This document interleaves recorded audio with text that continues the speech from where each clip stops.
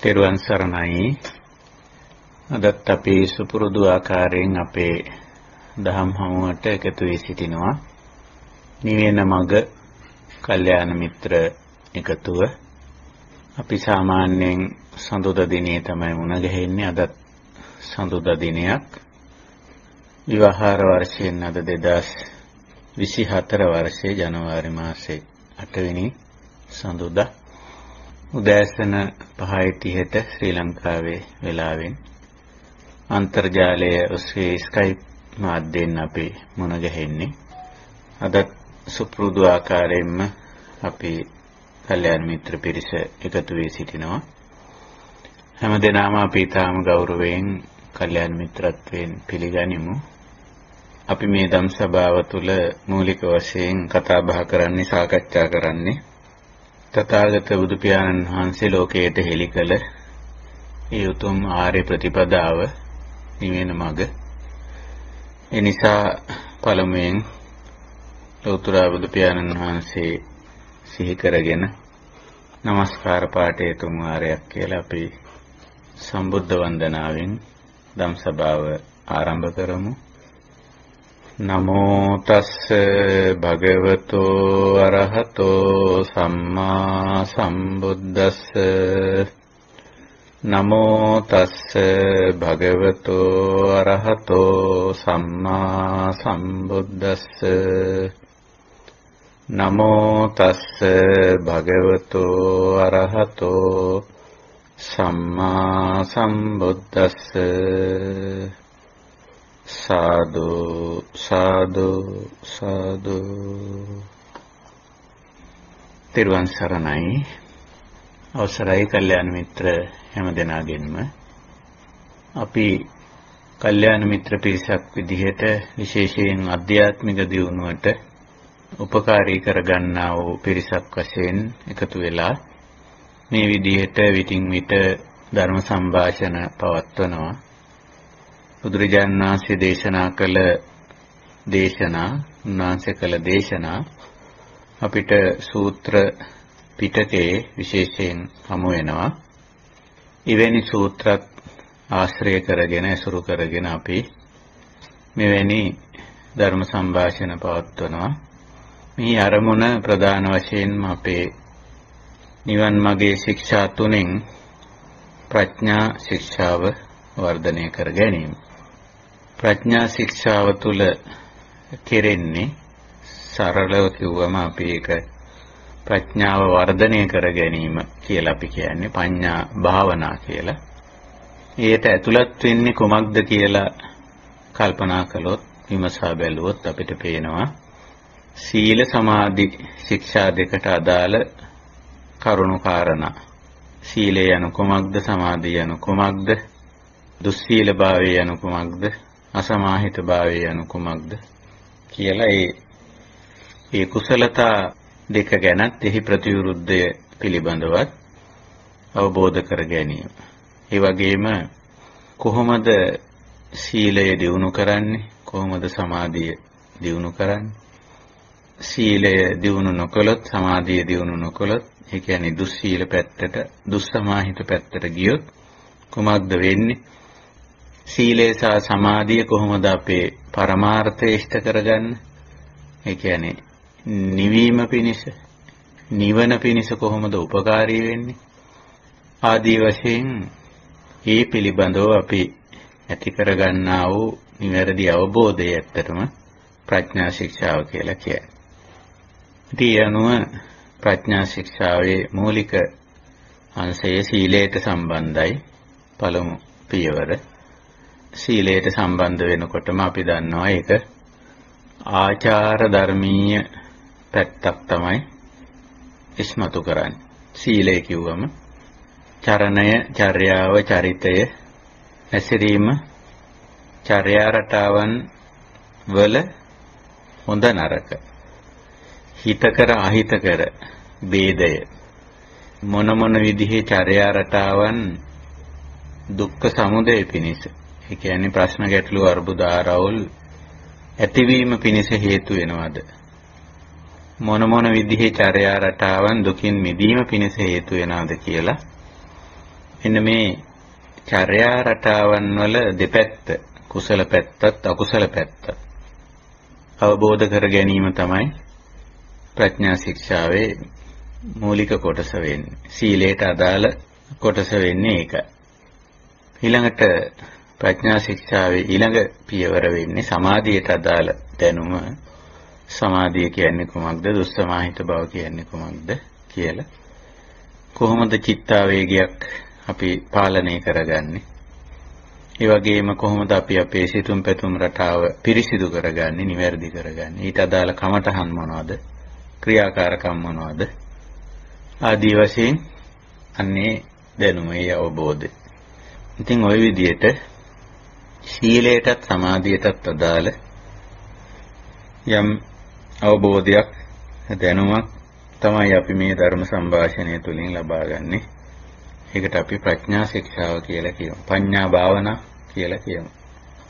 ඉතින් අපි මේ සාකච්ඡාව දෙවදෑරුම් විදියට කරගෙන එනවා.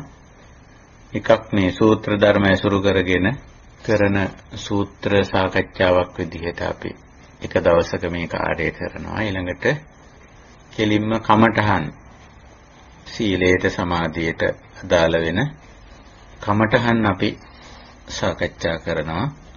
අපේ මේ සීල සමාධි කියන කුසලතා වර්ධනය කර ගැනීමට උපකාරී වෙන ආකාරයෙන් අපි කමඨහන් සාකච්ඡා කිරීමකුත් කරමු. අද අපි සූත්‍ර ධර්ම ඇසුරු කරගෙන කරන ධර්ම සාකච්ඡාව. එතකොට ඔබට මතක ඇති අපි මේ දිනවල තියාගෙන තියෙන සූත්‍ර ධර්මය අපි ඒක හඳුන්වන්නේ චූල හත්ති පදෝපම සූත්‍රය කියලා. ඇතුළත් වෙන තැන ඔබ දන්නවා. සූත්‍ර පිටකේ ඇතුළත් වෙන්නේ සූත්‍ර පිටකය දීඝනිකාය මජ්ක්‍ධිම නිකාය ආදී වශයෙන් බෙදෙනවා. දෙවෙනි කොටසයි මජ්ක්‍ධිම නිකාය කියන්නේ. මජ්ක්‍ධිම නිකාය නැවතත් 50 50 කොටස් වලට බෙදෙනවා. මූල පණ්ණාසක, මජ්ක්‍ධිම පණ්ණාසක, උපරි පණ්ණාසක වශයෙන්. එහි මුල් කොටස මුල් සූත්‍ර 50ට ගියාම මූල පණ්ණාසකය නැවත වර්ගීකරණය කරලා තියෙනවා. මූලපරියාය වර්ග, සීහනාද වර්ග, ඕපම්ම වර්ග, මහා යමක වර්ග, චූල යමක වර්ග කියලා. එහි මේ ඕපම්ම වර්ගයේ උපමා මූලික කරගෙන කෙරිච්ච ධර්ම දේශනා ඕපම්ම කියන්නේ ඒකයි.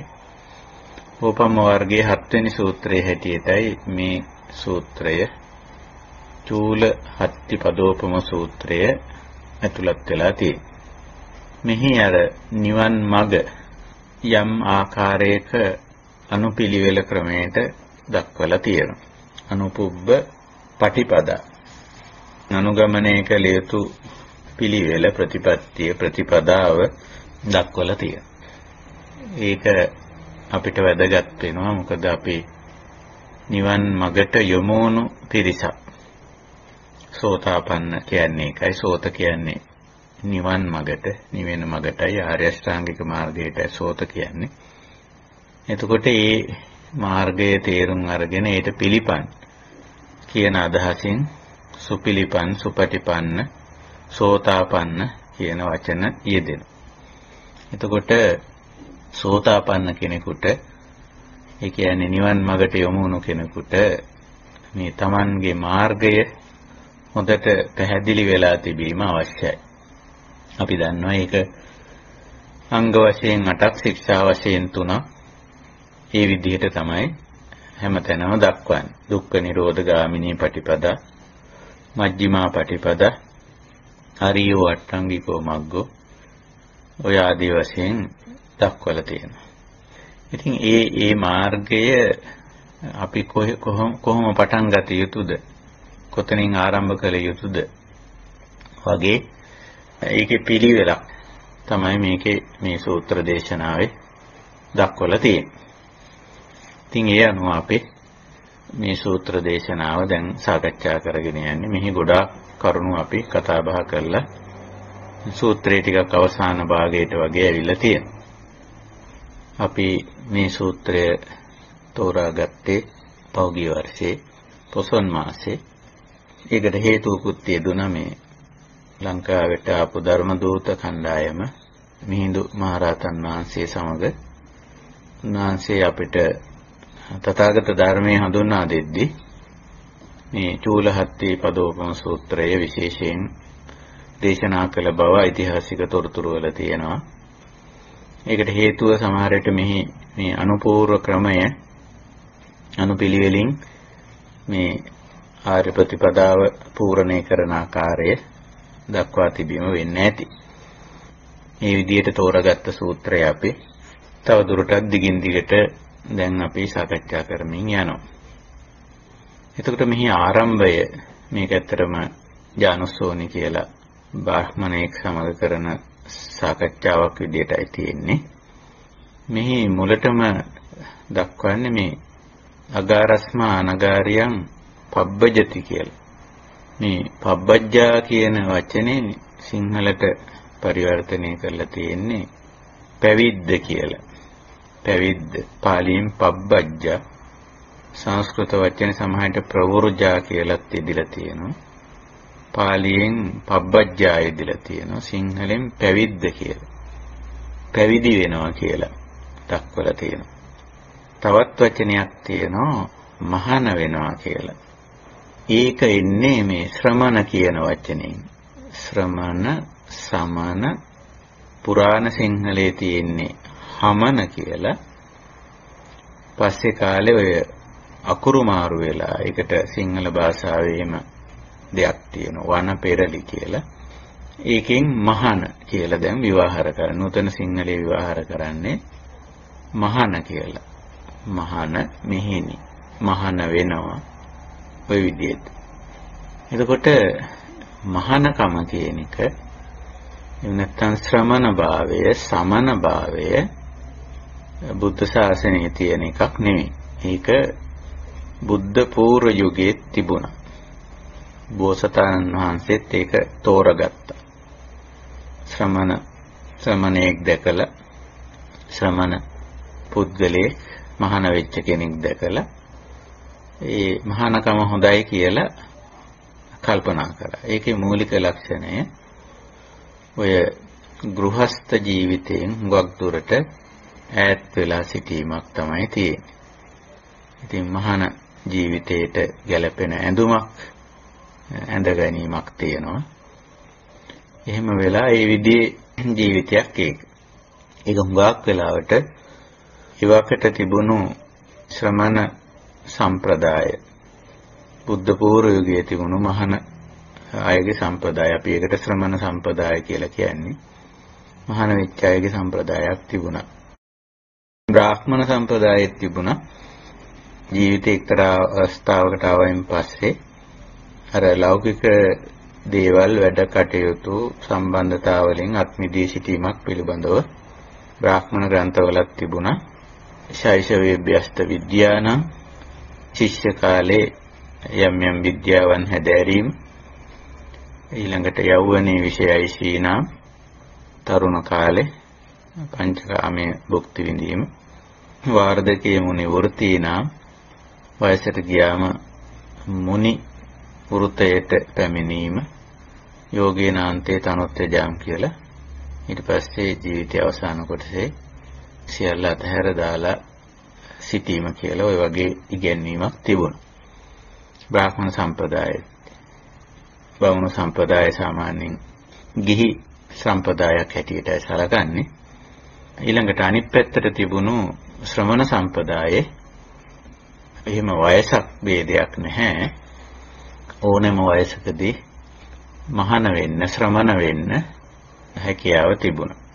ඔය දෙකටම එක්තරා ආකාරයකට ඔය දෙකටම සම්බන්ධයක් තියෙන යම් වැඩපිළිවෙලක් තමයි මේ පබ්බජ්ජා කියන එක. ඒ ඒවට සම්බන්ධයකුත් නැතුව නෙමෙයි. පබ්බජ්ජා කියන එක බුද්ධ ශාසනය හඳුන්වා දීපු එකක්. පබ්බජ්ජා. ඒක ශ්‍රමණේක් වෙලත් ශ්‍රමණේක් නොවි. ඒ කියන්නේ ශ්‍රමණ බ්‍රාහ්මණ සම්පදායන් දෙකේම ඉඳගෙන කරන්න පුළුවන්. ඔය බුදුහාමුදුරෝ දේශනා කරන බණ කියන හුඟක් වෙලාවට යෙදිලා තියෙන ওই වචන දෙක එකට. ඊයේකේචි සමනාවා බ්‍රාහ්මනාවා කියලා. ඒ කියන්නේ අර ඒවකට තිබුණු මූලික සම්ප්‍රදායන් දෙක. බ්‍රාහ්මණ සම්ප්‍රදාය කිව්වේ ගිහි ගෘහස්ත කාමභෝගී ගෘහස්ත ජීවිතය. සමනාවා කිව්වේ අර ශ්‍රමණ සම්ප්‍රදාය මහාන වීම. ඒකෙන් ඉවත් වී කටයුතු කිරීම. එතකොට සිද්ධාර්ථ බෝධිසත්වයොත් ওই සම්ප්‍රදාය දෙකේම හිටියා. වයස 29 වෙනකම් බ්‍රාහ්මණ සම්ප්‍රදායේ ඒ කියන්නේ ගෘහස්ත ජීවිතයක් ගත කළා. බමුණු දහමට අනුව කාමභෝගී ගෘහස්ත ජීවිතයක් ගත කළා. ඊට පස්සේ වයස 29 දී විතර අනිත් සම්ප්‍රදායට මාරු වුණා ශ්‍රමණ සම්ප්‍රදායට මහාන වුණා. ඒ මහාන වීමේදී අපිට පේනවා ඒකට කවුරුවත් ඕනේ නැහැ මහාන වෙන්න. තමන්ම තමයි ඒ தത്വයටපත් වෙන්නේ. තමන්ම මහාන ස්වરૂපයටපත් වෙනවා. එහෙම තමයි මහාන වීමේ සම්ප්‍රදාය ගෘහස්ත ජීවිතය අතහැරලා යනවා යන්නේ. ඒ එවැනි ඇඳුමක් ඇඳගෙන ඒ විදිහට. ඔබට මතක ඇති මේ මහා ප්‍රජාපති ගෝතමිය පබ්බජ්ජාව ඉල්ලපු අවස්ථාවෙත් එතෙන්ට එනකොට මහාන වෙලා යාවේ. ඒ කියන්නේ අර ශ්‍රමණ ස්වરૂපයටපත් වෙලා ඒ අයම හිස බාගෙන සිවුරු ඒ මහාන මහාන එවකට මහාන වරුන්ගේ එවකට ශ්‍රමණ වරුන්ගේ සම්ප්‍රදායේ ඇඳුමක් ඇඳගෙන එහෙමයි ආවේ බුදුරජාණන් වහන්සේ හමුවෙන්. එවිල්ල තමයි පබ්බජ්ජාව ඉල්ලුවේ. පබ්බජ්ජාව කියන එක බුද්ධ ශාසනයේ විතරක් තියෙන එක. පබ්බජ්ජා පැවිද්ද ප්‍රවෘජා කියන එක. මහානකම කියන එක වෙනත් ශාසනවල තියෙන්න පුළුවන්. ශ්‍රමණ සම්පදාය. මේ කියන්නේ ගෘහස්ත භාවයෙන් මිදී සිටීම. එතකොට මේ නිවන් මාගේ මුලට පෙන්නනවා මේ වගේ ලක්ෂණයක්. අගාරස්මා අනගාරියං පබ්බජන්ති කියලා. එතකොට අපි මේ සාකච්ඡාවේ මුලදී පැහැදිලි කරලා තියෙනවා මේ කාරණේ. අගාර සහ අනගාරිය කියන වචන දෙක තමයි මූලික වශයෙන්ම මෙහිදී මේ සම්ප්‍රදායන් දෙක හඳුන්වන්න යොදලා තියෙන වචන දෙක. අගාර කිව්වේ අර බ්‍රාහ්මණ සම්ප්‍රදාය ගෘහස්ත ගිහි කියලා අපි ඒක සිංහලෙන් කියනවා. ගෘහස්ත ගිහි ජීවිතය අගාර අගාරිය භූත කියලා එහෙම සඳහන් වෙලා තියෙනවා පුබ්බේකෝ අගාරිය භූත. ඉතින් ගෘහස්ත ජීවිතය කියන එක මොකක්ද කියලා මම මේ කල්යාණ මිත්‍රයන්ට පැහැදිලි කරන්න අවශ්‍ය කරන්නේ නැහැ. හැමෝම ගෘහස්ත ජීවිතයක ගත කරන්නේ ඒක තුල තියෙන එක් පැත්තකින් මේ ඥාති පරිවට්ටය පුද්ගල සම්බන්ධතා ටිකක් තියෙනවා. ස්වාමි පුරුෂයා, භාර්යාව, දරුවෝ, මව්පියෝ, නෑදෑයෝ, හිතවතුන් එකට වැඩ කරන අය, අලු මිත්‍රයෝ කියලා දන්න කියන අය ඥාති කියන්නේ. එවැනි අයගේ යම් සම්බන්ධතා ජාලයක් හැදිලා තියෙනවා. ඒක හරි හරිම මේ එක්තරා පැත්තකින් වෙහෙස කර පීඩාකාරී එකක් ඥාති පරිවර්තේ. සිංහල කියමනක් තියෙන ඇතුවත් දැරි නැතුවත් දැරි අය කියලා. ඒ කියන්නේ අපිට තනියෙන් ජීවත් වීමේ නොහැකියාවක් තියෙනවා. මූලික වශයෙන් ගත්තම. ඒක නිසා අපි ඥාති පරිවර්තයක් අපේ ජීවිතේට එකතු වෙලා තියෙනවා. සබාධමෙන්ම ඉතින් අපිට ඥාති කියලා දෙන්නේ කුරුම කරලා තියෙනවා මව සහ පියා කියලා. ඊට අමතරව සහෝදර සහෝදරියෝ ආදී වශයෙන් එක්තරා ස්වභාවික දෙයක් මේක ඥාති පරිවර්තය කියන එක. නමුත් ස්වභාවික වුණත් මේ ඥාති සම්බන්ධය කියන එක විධිමත් ආකාරයකින් බුද්ධිමත් ආකාරයකින් හසුරුවාගෙන යන්න පුළුවන් කෙනෙකුට. සංගෘහස්ත ජීවිතයක් ගත කළත් මේ ඥාතීන් අතරේ මොන විදිහේ අයද ඇසුරු කළ යුත්තේ සම්ප්‍රදායික මතයටම නොගිහින් ඥාතීන් තමයි මේ මේ අය ඒ කියන්නේ සාමාන්‍යයෙන් ඥාති කියලා හඳුන්වනකොට හඳුන්වන ක්‍රමයක් තියෙනවා. ඒක මවගේ පාර්ශවයේ පියාගේ පාර්ශවයේ ප්‍රධාන වශයෙන්. ඒ විදියට ඥාති ඊළඟට සහෝදර සහෝදරියෝ ඒගොල්ලන්ට සම්බන්ධ අය ඊළඟට තමන් පුද්ගලිකව තවත් පුද්ගලයෙක් සමග ඇති කරගන්න සබඳතාවය විවාහ සම්බන්ධය කියලා අපි ඒකට කියන්නේ. ඒකින් ඇති වෙන අලුත් ඥාති પરම්පරාවල මේවා තමයි ඥාති කියලා සාමාන්‍යයෙන් හඳුන්වන්නේ. එක් පැත්තකින් අපිට පුළුවන්කම තියෙනවා මේ ඥාති සම්බන්ධකම් කියන ඒවා අවම කරගන්න. දැන් විවාහයක් වුණොත් තමයි ඒ තමන්ගේ කලත්‍රයට අදාළ ඥාති කලත්‍රයා සහ කලත්‍රයාගේ පාර්ශවය කියලා ඥාති පාර්ශවයක් ඇති වේ. විවාහ ජීවිතේට ආවේ නැතොත් එහෙම එකක් එන්නේ නැහැ. ඒ නිසා පුද්ගලයාට ස්වාධීන අයිතියක් තියෙනවා. එවැනි එකක් ඇති කරගන්නවද නැද්ද කියලා තීරණය කරන්න. සාමාන්‍ය සමාජ සම්මතයේ තියෙන්නේ සාමාන්‍ය සම්මතයේ තියෙන විවාහ වෙන්න ඕනේ කියන. නමුත් ධර්මයට විනයට අනුව නම් එහෙම එකක් නැහැ. එහෙම විවාහ වීම අත්‍යවශ්‍යයි කියලා එකක් නැහැ. දහමට ඒ අනුව කෙනෙකුට අලුත් ඥාති පාර්ශවයක් ඇති කරගන්නවද කියන එක තීරණය කරගන්නත් පුළුවන්. ඊළඟට සබාදහමෙන් ලැබිච්ච ඥාති පාර්ශවයේ අම්මා තාත්තා දෙන්න. මව් පාර්ශවයේ ඥාතිවරු, පිය පාර්ශවයේ ඥාතිවරු ඊළඟට සහෝදර සහෝදරිය මේ කොටස් අපිට සබාදහමෙන් ලැබිලා කියලා කියන්න පුළුවන්. අපි උපදිනකොටම ඔය ටික ලැබෙනවා. ඒක අපිට තීන්දුව කරන්න ටිකක් අමාරු පාර්ශවයක්. ඒ ඥාති පාර්ශවය සබාදහමෙන්ම ලැබිලානේ. එතකොට ඒ ඥාතීන් සමග කෙසේ කටයුතු කළ යුතුද? ඔතෙන්දී බුදුරජාණන් වහන්සේ ඥාතකානංච සංඝහෝ වගේ මංගල කාරණා වගේ දේවල් වලට කියාම එතන ඇත්තටම ඥාතීන් එක්ක යම් ආකාරයක විධිමත් සම්බන්ධතාවයක් පවත්වාගෙන යෑමක් හිතන අදහස් කරන්නේ. දැන් මංගල සූත්‍රයේදී කියන්නේ නිවනට උපකාරී වෙන ධර්මතා හැටියටනේ. එතකොට එතන ඥාතීන් අරගෙන තියෙන. මංගල කියන වචනෙන් එතන අදහස් කරන්නේ නිවුණු සැනසුණු ජීවිතයක් ගොඩනගා ගැනීමට උපකාරී වන කරුණු කියන එකයි. එතෙන්දී ඥාතීන් අරන් තියෙන ඥාතකානංච සංඝහෝ කියලා කියලා තවත් තැනක කියලා තියෙනවා විශ්වාසා පරමා ඥාති වගේ ඉදන් දක්වලා තියෙනවා. එතකොට මේ පිළිබඳව හොඳ මඟ පෙන්වීමක් බුදුදහමේ තියෙනවා.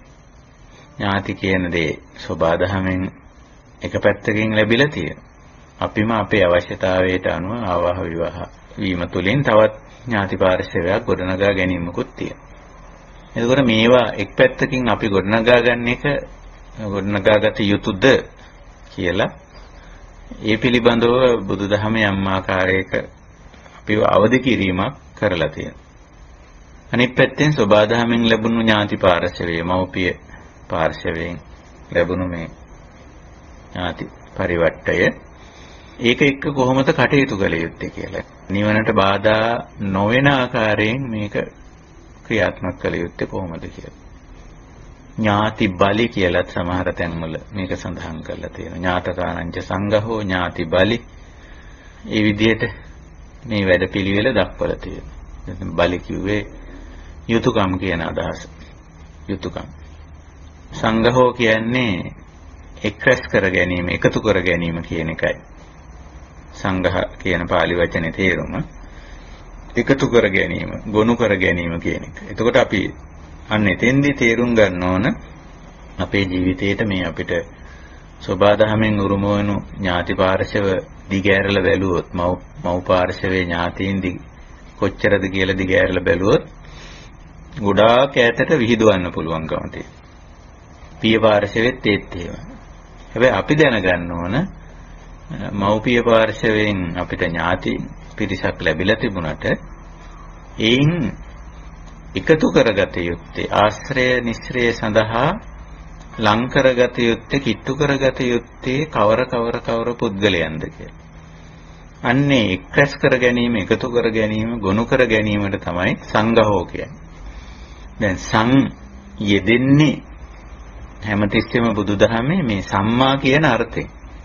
සං යෙදෙන්නේ.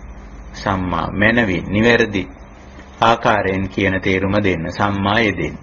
මෙතනත් සම්මා ගහෝ සංගහෝ කියලා තමයි අපිට මේ වචනේ විග්‍රහ කරන්න පුළුවන්. මනවින් තෝරා බේරා ගැනීම නිවැරදි ආකාරයට එකතු කර ගැනීම එක්රැස් කර ගැනීම කියන අර්ථය. මොකද අපිට තනියෙන් ජීවත් වෙන්න බැරි නිසා අපිට සිද්ධ වෙනවා මේ පුද්ගලයන් අතරින් යම් පිරිසක් තෝරා බේරාගෙන ආශ්‍රය නිශ්‍රය කර. ඒකයි. ඉතින් එවැනි වැඩපිළිවෙලකට තමයි ඥාතකානංච සංඝහෝ කියලා ඉතින් ওই විදිහට මේ අපේ ජීවිතේ ඔබාදහමෙන් අපිට ලැබුණු අපිම සමහර වෙලාවට අලුතින් ඇති කරගත්ත සම්බන්ධතා පද්ධතියක් ඥාති කියලා කියන්නේ. පුද්ගල සම්බන්ධතා පද්ධතියක්. මේක විධිමත් විදිහට පවත්වාගෙන නොගියොත් ඒක ලෞකික ජීවිතයේ අවුල් වෙන්නත් ඒ වගේම අධ්‍යාත්මික ජීවිතයේ කඩා වැටෙන්නත් මේක ප්‍රධාන හේතුවක් වෙනවා. ඒක නිසා බුදුදහමේ ඥාති පිළිබඳව ටිකක් ගැඹුරින් කතා කරලා තියෙනවා. නිවන් මාගේදී අපි මේක කතා බහ කළ යුතුමයි. නිවන්ට අදාළ මාතෘකාව. ඉතින් පබ්බජ්ජාවේදී අපි මේ සූත්‍රයට පොඩ්ඩක් අවධානය යොමු කළොත් පබ්බජ්ජාව ගැන කියනකොට කියන්නේ අප්පං වා මහන්තං වා ඥාති පරිවට්ටං පහය කිය. පබ්බජ්ජාව ටිකක් වෙනස්. පබ්බජ්ජාවේදී ඥාති සංගහ නැහැ. ඒ මේ පබ්බජ්ජා විශේෂත්වය ඒකයි. ඥාති සංග්‍රහයක් නැහැ. ඥාතීන් එකතු කර ගැනීමක් නැහැ. ඉන්නේ ටික දෙනා වුණත් ගොඩ දෙනෙක් හිටියත් අප්පං වා මහන්තං වා කිව්වේ ඉන්නේ ඥාතිවරු කුඩා ප්‍රමාණයක් වුණත් ලොකු ප්‍රමාණයක් වුණත් අතහැර දැමීමක් තමයි කරන්නේ. ඒගොල්ලොත් එක්ක ඥාතිමය සම්බන්ධතාවයක් පවත්වන්නේ නැහැ. එතන ඉඳලා. එතන ඉඳලා අර ගිහි පැවිදි සම්බන්ධය තමයි පවත්වන්නේ. පබ්බජිත වුණාම මේ පුද්ගලයා මේ කාන්තාව හෝ මේ පිරිමියා පබ්බජිත මට්ටමට ආවෙන් පස්සේ එතන ඉඳලා කිසිම විශේෂයක් නැතුව ගිහි පැවිදි ගෘහස්ත අය ගණයට තමයි ඒගොල්ලෝ ඔක්කොම දාන්නේ. ඥාති නෙමෙයිද? ගිහි අය. මෙයා ඒ සම්ප්‍රදායෙන් අයින් වෙච්ච පබ්බජිත පැවිද්ද. මෙතන මේ වෙන්නේ ඇත්තටම මේ පැවිද්දේ තමයි මේ වෙනස ඇති වෙන්නේ. පබ්බජ්ජා. එහෙම එනකොට පබ්බජ්ජාව ටිකක් දුෂ්කර වෙනවා. අමාරු එකක් වෙනවා. හැබැයි එක තැනකදී බුදුරජාණන් වහන්සේ කියනවා අබ්බෝකාසෝ පබ්බජ්ජා කියලා. ඒක ඇත්ත. අබ්බෝකාස කියන එකේ අදහස අපි දන්නවා ඒක මේ සබාධමේ තියෙන එකක් අබ්බෝකාස කියන එක. ආකාශ නෙමෙයි අභ්‍යවකාශය. අබ්බෝකාශ කියන්නේ. අපි පොළවේ හිටියත් අහසේ හිටියත් අපිට අපේ ස්කන්ධ භාරය දැනෙනවා. ඒ වගේම අතට යමක් ගත්තොත් එහි බර වුණත් දැනෙනවා අපිට. අහසේ හිටියත් පොළවේ හිටියත්. හැබැයි මේ අභ්‍යවකාශයට ගියාම தત્ත්වය වෙනස්. ඒකට ගියපු ඇත්තෝ මේ විශේෂ යන්ත්‍ර සූත්‍ර මේවලම් හදාගෙන අභ්‍යවකාශයට ගියපු ඇත්තෝ ඒක වාර්තා කරලා තියෙනවා.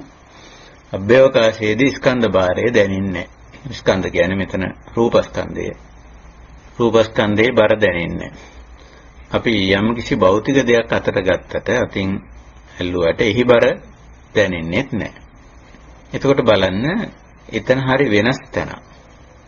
එතකොට බුදුරජාණන් වහන්සේ පබ්බජ්ජාව ගැන කියනකොට කියනවා අබ්බෝකාසෝ ඉව පබ්බජ්ජා පැවිද්ද අභ්‍යවකාශය ඒ වගේ කිය උපමාවක් කියන්නේ පැවිද්ද අභ්‍යවකාශයේ වගේ කිය මොකද ඒකේ තිබිච්ච අර බර තමන්ගේ රූපස්කන්ධයේ බරත් තමන්ට දැනෙන්නේ යමක් පරිහරණය කළාට අතට ගත්තට ඒකේ බර දැනෙන්නේ නැහැ. ඒ වගේ. එතකොට මේ පබ්බජති කියන වචනේ අදහසත් ඒකයි. ඒකෙන් අත්මිදී යෑම කියන එක. හැබැයි අර ඥාති පරිවට්ටයෙන් මිදුණා. එක පැත්තකින් ලොකු සහනයක් තියෙනවා. අර තමන්ගේ රූපස්කන්ධේ බර දැනෙන්නේ අතට ගත්ත යමක බර දැනෙන්නේ නැහැ වගේ. අනිත් පැත්තෙන් දුෂ්කරතාවයකුත් තියෙනවා. මේ ඥාති පරිවට්ටය ඒකින් ඈත්ුණාම අනිත් එක එතන ඉඳලා ඒගොල්ලොත් එක්ක ගනුදෙනු කරන ආකාරයේ වෙනසකුත් තියෙනවා. එහෙම අයින් වුණාම ඒ ඒ වගේ ගැටලුවකුත් පැන නගිනවා. කොහොමුණත් නිවන සාක්ෂාත් කිරීම පැත්තෙන් නිර්වාණය සාක්ෂාත් කිරීම පැත්තෙන් ගත්තොත් ඇත්ත වශයෙන්ම බුදුරජාණන් වහන්සේ පබ්බජ්ජාව තමයි අපිට හඳුන්වා දීලා තියෙන වැඩපිළිවෙල. එතකොට පබ්බජ්ජාවට කෙනෙකුට එන්න පුළුවන් මහාන වෙලත් පුළුවන් මහාන නොවිත් පුළුවන්. එතකොට මහානකමයි පබ්බජ්ජාවයි දෙක. මොකක් අය හිතාගෙන ඉන්නේ මහාන වෙනවා පැවිදි වෙනවා කියන්නේ එකක් කියලානේ. නෑ මේක දෙකක්. දෙආකාර වැඩක්. ඉතින් ඔය ඥාති පරිවට්ටම් පහය කියන එක තමයි පළවෙනි කාරණේ. ඊළඟට භෝගක්ඛන්දම් අප්පං වා මහන්තං වා භෝගක්ඛන්දම් පහය. භෝග කියන්නේ සාමාන්‍ය මිනිසෙක් තමන්ගේ ජීවිතය පවත්වාගෙන යාම සඳහා එකතු කරගත්ත රැස් කරගත්ත තනවා වඩාගත්ත රැක බලාගෙන පරිස්සම් කරගෙන යන යම්කිසි භෞතික දේවල් ටිකක් තියෙනවා. ඉඩකඩම්, ගේ දොර, යාන වාහන, ව්‍යාපාර මේ වගේ දේවල් ටික. ද්‍රව්‍ය භාණ්ඩ වස්තු මේ වගේ දේවල්. ඒව තමයි භෝගක්ඛන්ද කියලා කියන්නේ. ඉතින් පබ්බජ්ජාව ගැන කියනකොට කියනවා භෝගක්ඛන්දං පහය කියලා. ඒකත් අර පුද්ගලික හිමිකම අතහැරලා දානවා කියලා. එතකොට කිසිම භෞතික දෙයකට හිමිකමක් නැති පුද්ගලයෙක් බවට පරිවර්තනය වීම. එතකොටත් තව ලොකු ගැටලුවකටපත් වෙනවා සාමාන්‍ය පුද්ගලෙක්. ඔහුට මේ ලෝකේ කිසිම භෞතික දෙයක හිමිකමක් නැහැ හිමිකම් පාන්න විදියක් නැහැ. එතකොටත් එක් පැත්තකින් පහසුවකුත් වෙනවා. අපි දන්න භෞතික දේවල් වල හිමිකම් තියෙනකොට ඒ සම්බන්ධයෙන් ගොඩාක් වැඩ කටයුතු වගකීම් තියෙනවා. හැබැයි ඒවයි හිමිකමක් නැති පුද්ගලයෙකුට ඒ පිළිබඳ වැඩ රාජකාරි වගකීම් මේවා ඇත්තේ නැහැ. එහෙමත් තියෙනවා. ඒ පැත්තෙන් අර අබ්බෝකාස වගේ තත්වයකටපත් වෙනවා. ඉතින් ওই විදිහටයි මූලික වශයෙන් මේ පබ්බජ්ජා කියන ප්‍රතිපදාව. මේක ඇත්තටම ජීවන ක්‍රමයක්. ඊතා ඉක්මනින් ඊතා පහසුවෙන් මේ නිවුණු සැනසුණු ජීවිතය ගොඩනගා ගැනීම සඳහා නිර්දේශ කරලා තියෙන ඊතා හොඳ ජීවන ක්‍රමයක්. එක් පැත්තකින් පබ්බජ්ජාව පහසුයි අබ්බෝකාසෝ. අනිත් පැත්තෙන් දුෂ්කරයි. එහෙම පැත්තකුත් තියෙනවා. නමුත් පබ්බජ්ජාවට ආපු කෙනෙකුට තේරෙනවා මේකේ දුෂ්කරතාව සහ පහසුකම කියන එක සංසන්දනය කරලා බැලුවොත් වඩා තියෙන්නේ පහසුකම. දුෂ්කරතා පැත්තක් නෙවෙයි.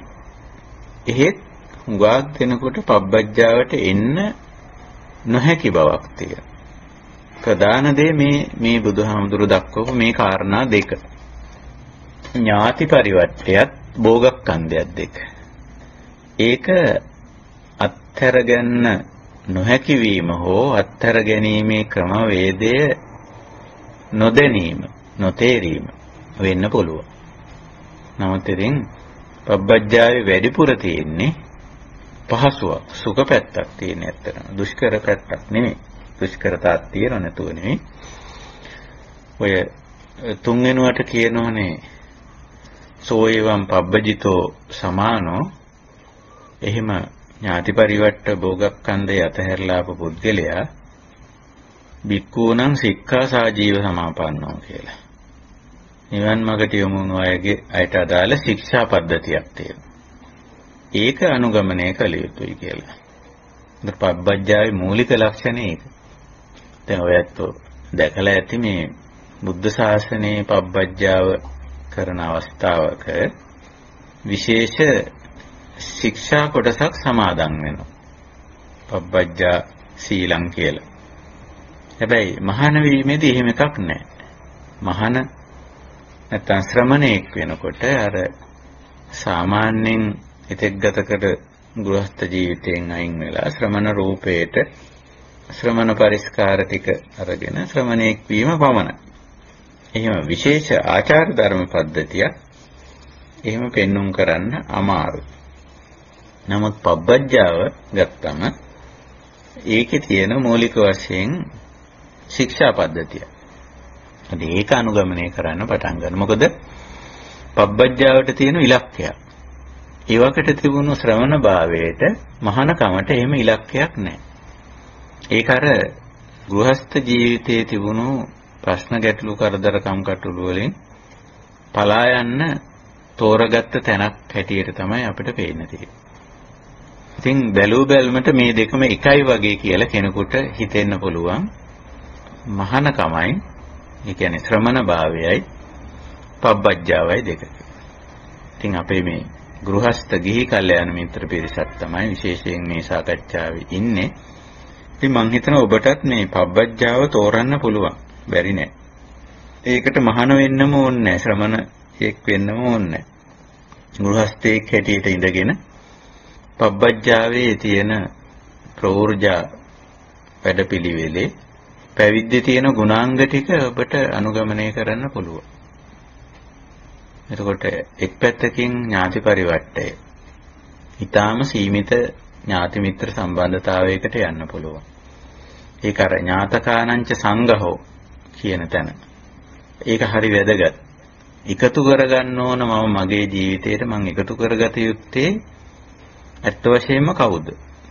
මේ ඥාති පිරිස අතරින් සමීපව ආශ්‍රය නිස්සය කළ යුත්තේ කවුද කියලා. ඒක තමන් තෝරා ගන්නවා.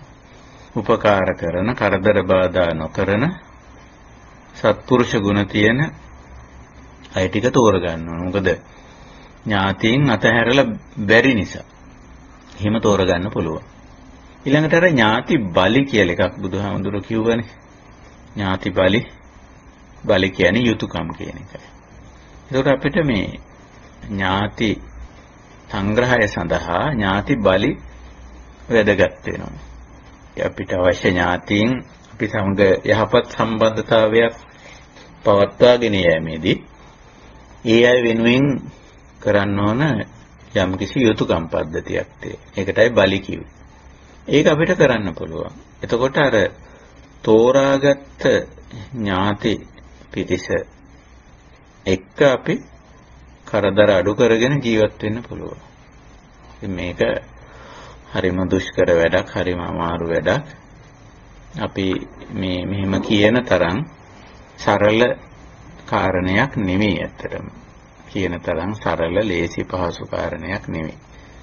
මේ ඥාති සංග්‍රහය නැත්තම් ඥාති පිළිබඳ කාරණේ කියන එක. ඒකයි සිංහල කියමනේ තියෙන්නේ ඇතුවත් බැරි නැතුවත් බැරි අය කියලා. කොහොමුණත් අපිට බුදුදහමේ මඟ පෙන්වීමක් කරලා තියෙනවා. මේ ඥාති පරිවර්තය එක්කෝ පබ්බජ්ජාවට ඇවිල්ලා කෙලින්ම අතහැරලා දාන්නත් පුළුවන්. එහෙම නැත්නම් ඥාති සංග්‍රහයක් ඥාති බලියක් ඥාති බලි ක්‍රමයට ඥාති සංග්‍රහයක් කරගන්න. ඥාති සංග්‍රහයක් කියන එකෙන් අදහස් කරේ සුදුසු යෝග්‍ය අවශ්‍ය ඥාති පිරිසක් විතරක් ආශ්‍රය කරගෙන තමන්ගේ ජීවිතේ පවත්වගෙන යන්න. ඉතින් මේක හරි අමාරු දුෂ්කර වැඩක් ඇත්තටම. භෝගත්තන්දේ නම් ඒ ඒක එච්චරම අමාරු නැහැ. මොකද භෞතික දේවල් නේ එතෙන්ට අයිති වෙන්නේ. ඉඩකඩම් ගේ දොර යාන වාහන ව්‍යාපාර යම් යම් ද්‍රව්‍ය භාණ්ඩ වස්තු මෙවලම් ඒවා තමයි මේ පැත්තටයි තියෙන්නේ. ඒවා භෞතිකයි. ඉතින් ඒවට තියෙන්නේ අපේ අර ඒවා කැරකිලා එන ගතියක් නැහැ. පරිවට්ට ස්වභාවයක් නැහැ. භෝගවල. ඒ නිසා භෝග පරිවට්ටම් කියලා කිව්වේ නෑ. භෝගක් කන්ද කියලා කියලා දෙන්නේ.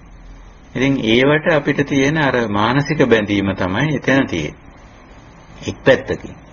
අනිත් පැත්තෙන් මේවායේ කායික සම්බන්ධයක් තියෙනවා. ඒ කියන්නේ මේ දේවල් අපි එකතු කරගෙන ක්‍රැස් කරගෙන පවත්වාගෙන යන්නේ කායික පහසුව සඳහා. අපේ ජීවත් වීමට ඒ භෝග උපකාරී වෙනවා. ඒ අර්ථයෙන්. එතකොට භෝග අතහැරලා දැම්මම එක්තරා විදිහක අර ජීවත් වීම පිළිබඳ කාරණේ අභියෝගයකට ලක්වීමක් සිද්ධ වෙනවා. දැන් කොහොමද ජීවත් වෙන්නේ? දැන් Tamanට කියලා ඉන්න තැනක් නැහැ. පබ්බජ්ජාවේදී එහෙම තැනක් නැහැ. නිශ්චිත ඉඩමක් නැහැ. පබ්බජ්ජාවේ මූලික ලක්ෂණ. ඊළඟට භෞතික මුකුත් නැහැ. ව්‍යාපාර ඒ වගේ දේවල් මුකුත් නැහැ.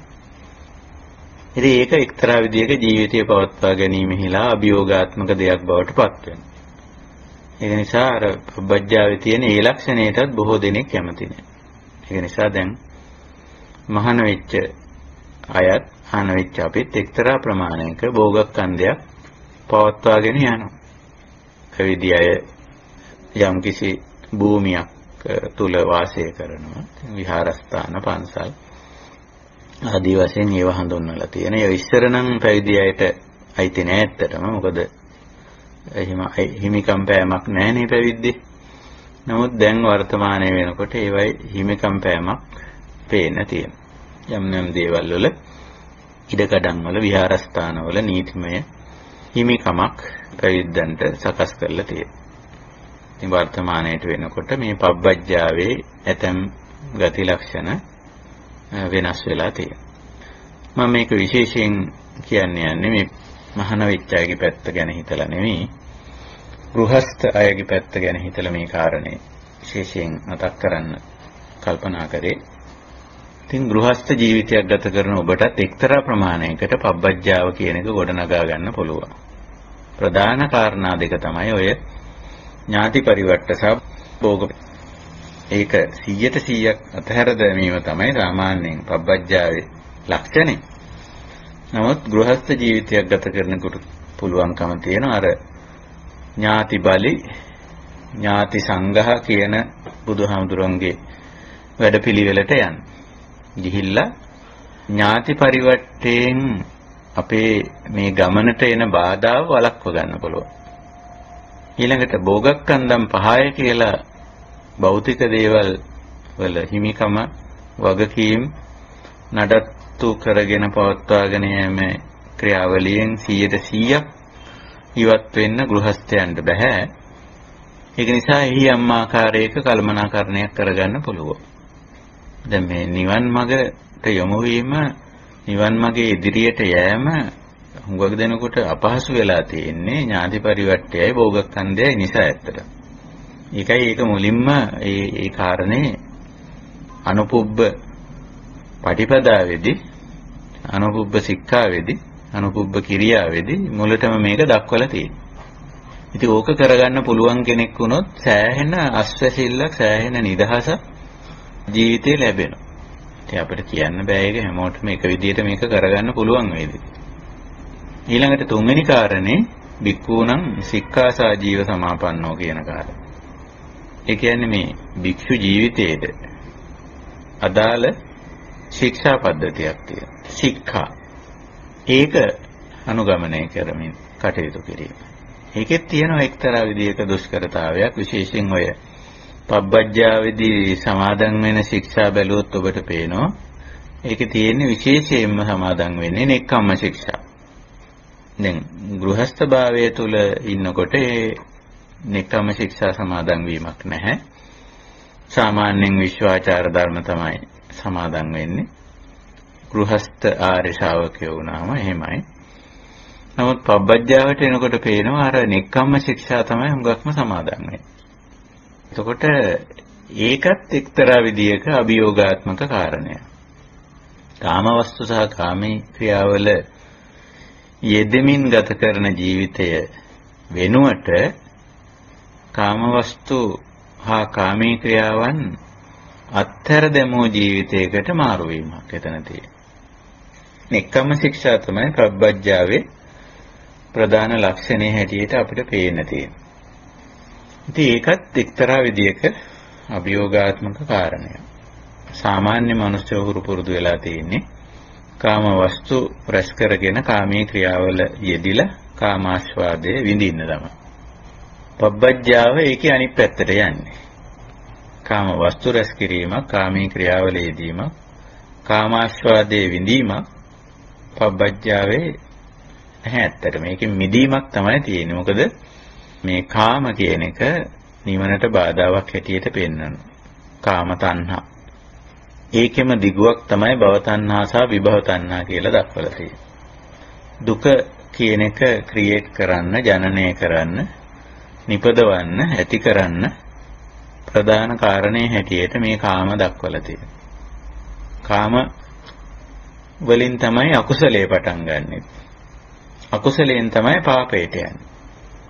එතකොට අකුසලයට එනකොටම නිවන ආවරණය වෙනවා.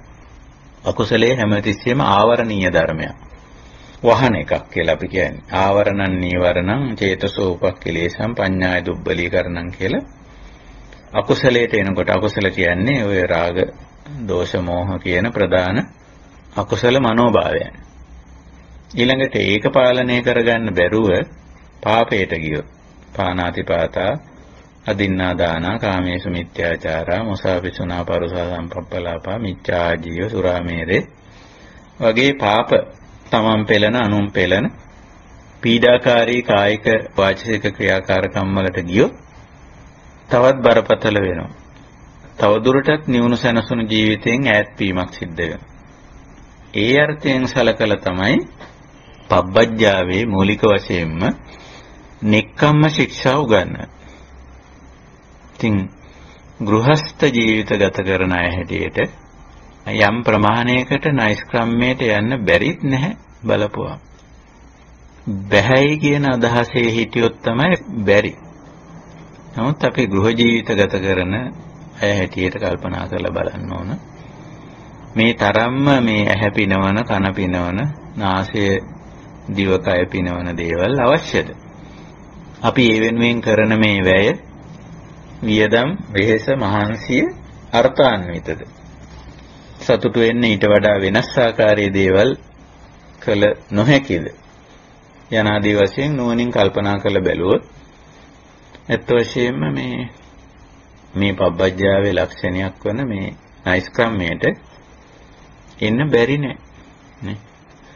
ওই විදිහට ඔය පබ්බජ්ජාවේ මූලික ලක්ෂණ තුන ගත්තොත් අපි මේ කතා කරන්නේ චූලහත්ති පදෝපම සූත්‍රය මම අද ඩිංගක් එකේ ආපහු මුලට යෑමක් වගේ ඔබට පේනවා ඇති. නමුත් මේක වැදගත් මේ අනුපුබ්බ ක්‍රමය.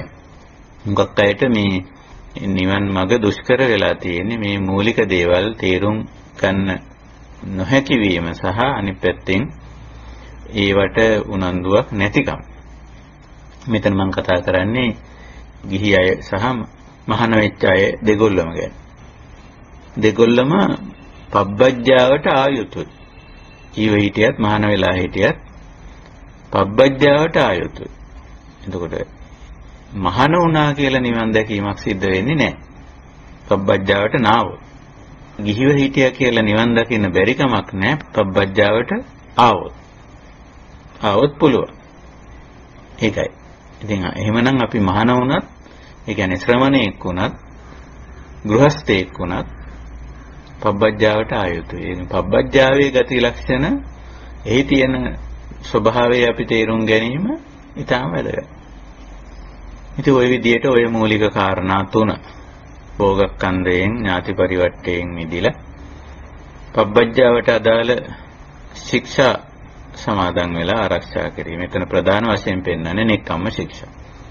ඉතින් ওই විදිහට ගිහිල්ලා ඊළඟට ඔය සීලය ගැන ගොඩාක් විස්තර ඔබට මතකයි.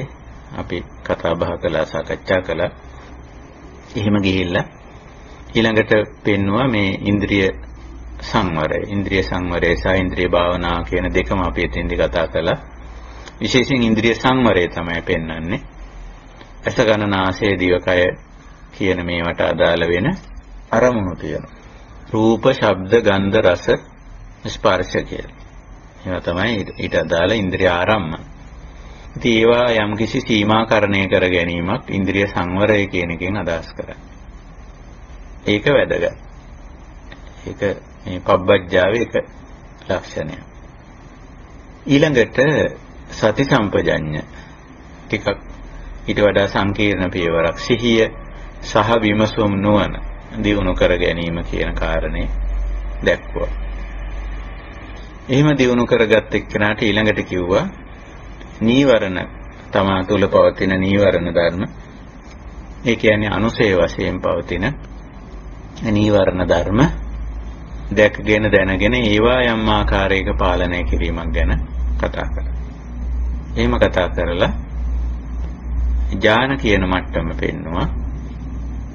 පියවර හතරකින් පඨමං ඥානං ဒ ුතියං ඥානං තතියං ඥානං චතුත්ථ ඥානං කියලා. පියවර හතරකින් පෙන්වනවා.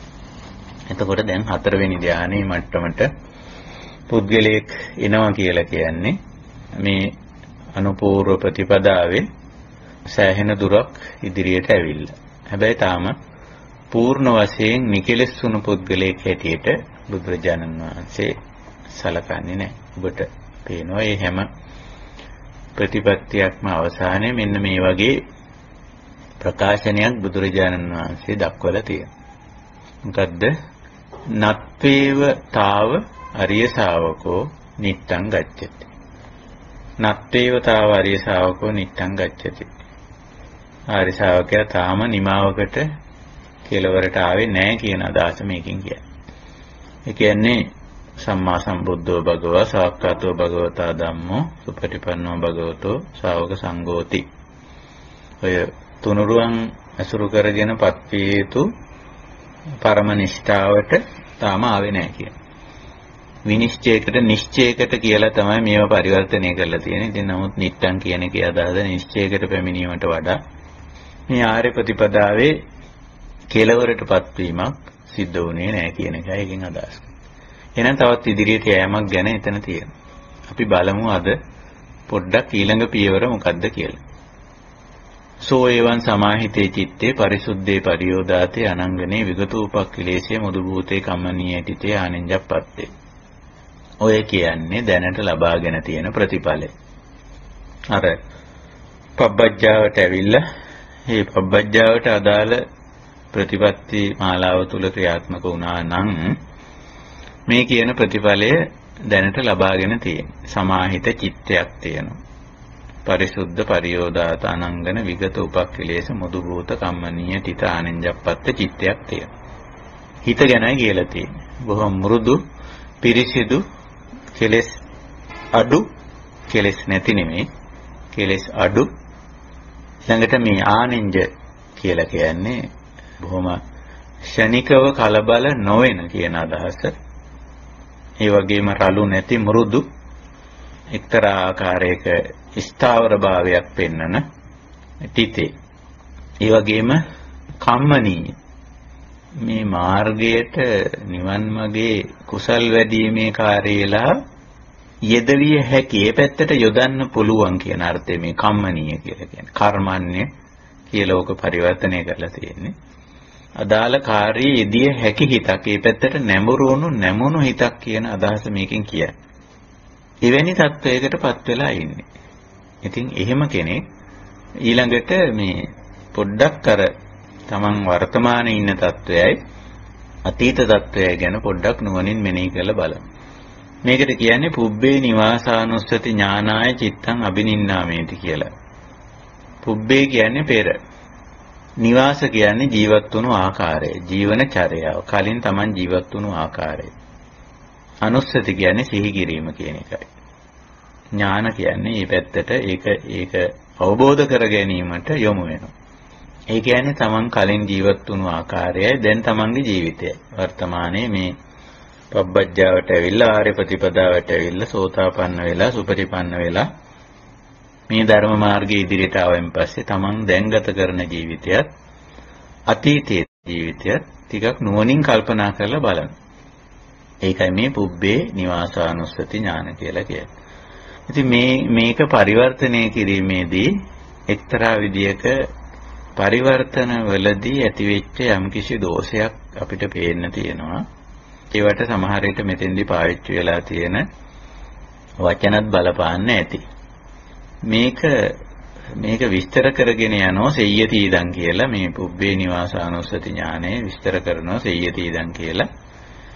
ඒකම්පි ජාතින් ද්වේපි ජාතියෝ තිස්සෝපි ජාතියෝ චතස්සෝපි ජාතියෝ පංචපි ජාතියෝ දසපි ජාතියෝ විසතිම්පි ජාතියෝ තින්සම්පි ජාතියෝ චත්තාරී සම්පි ජාතියෝ පඤ්ඤා සම්පි ජාතියෝ ජාති සතම්පි ජාති සහස්සම්පි ජාති සතසහස්සම්පි කියලා සියදහස් ಜಾතියක් කියලා ඔහොම ඔය සංඛ්‍යා විද්‍යාවෙන් මේක දක්වලා තියෙන එක් පැත්තකින්. ඊළඟට අනේකේපි සංවට්ටකප්පේ අනේකේති අනේකේපි විවට්ටකප්පේ අනේකේපි සංවට්ට විවට්ටකප්පේ කියලා එක්තරා විදිහක කාලපරාසයකින් දක්වලා මේ කප්ප කියන්නේ කාලපරාසයට කප්පයක් කියලා කියන්නේ සංඛ්‍යා විද්‍යාවෙනුත් එක පැත්තකින් දක්වලා තියෙනවා කාල කාල ප්‍රමාණ වලිනුත් මේක දක්වලා තියෙනවා. ඒ ඒ දෙකම මෙතෙන්දී පාවිච්චි වෙලා තියෙනවා. ඊළඟට අමුත්‍රාසින් ඒවං නාමෝ ඒවං ගොත්තෝ ඒවං වර්ණෝ ඒවං ආහාරෝ ඒවං සුඛ දුක්ඛ පටිසංවේදී. ඒවං ආයු පරියන්තෝ. කොහොම දක්වලා තියෙනවා.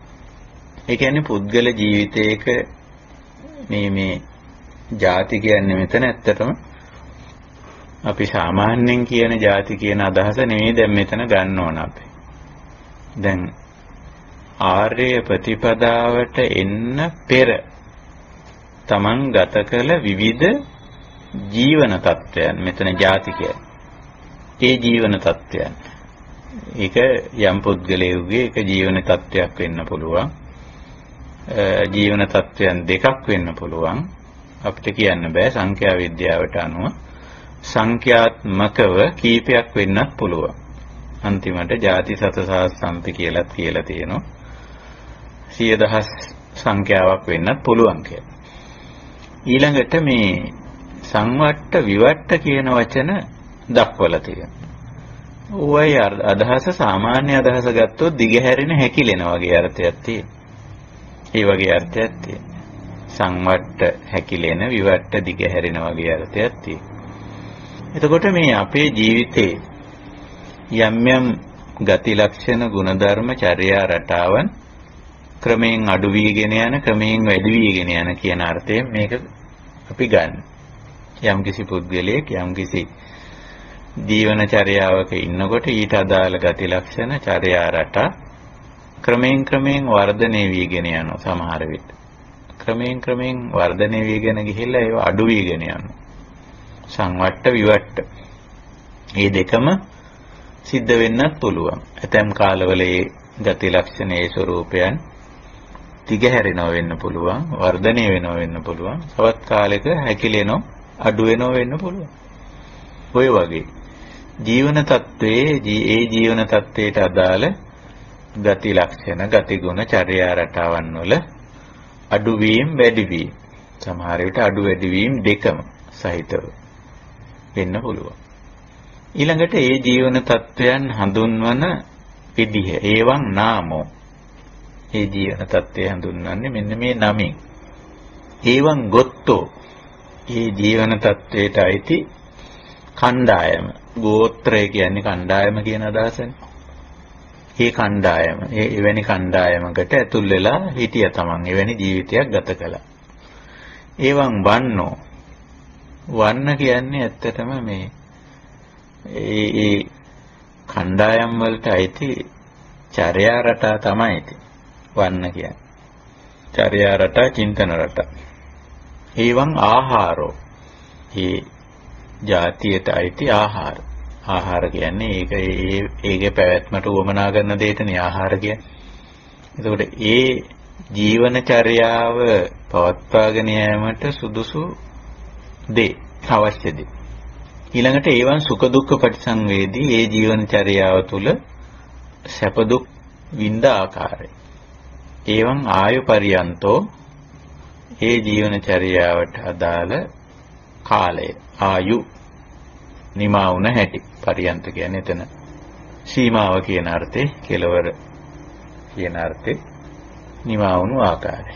එතකොට දැන් මේ කියපු කාරණා ටික අපි යම්කිසි නිදර්ශනයකින් කල්පනා කරලා බැලුවොත් සුදුසුයි. දැන් පුද්ගලයේ ජීවන චර්යාව අපි හිතමු අසුතවා පුතුජන මට්ටම තමයි මෙතන හුඟක් අදහස් කරන්නේ. අසුතවා පුතුජන මට්ටමේදී යම්කිසි පුද්ගලයෙක් අපි හිතමු කිසියම් ආකාරයේ වැරදි ජීවන චර්යාවකට වැටෙනවා. අයහපත් එකකට. එවැනි එකකට නෙමෙයි කීපයකට වැටෙන්නත් පුළුවන් පුද්ගලයෙක්. වැරදි ජීවන චර්යාවන් කීපයක ගත කරන්න පුළුවන්. ඒකයි මෙතන කිව්වේ ඒකම්පි එකක් වෙන්නත් පුළුවන්. ಜಾති සත සහස්සම්පි කියලා. එවැනි අයහපත් වැරදි ජීවන චර්යාවන් කීපයකට වෙන්නත් පුළුවන්. මෙතන අපි අයහපත් වැරදි කියන වචනේ පාවිච්චි කරන්නේ ටිකක් පරිස්සමෙන්. නිවන් පැත්තට සාපේක්ෂවයි අපි ඒක කතා කරන්නේ. නමුත් ලෝක සම්මතයේ හැටියට ඒවා යහපත් නිවැරදි ජීවන චර්යාවන් වෙන්න පුළුවන්.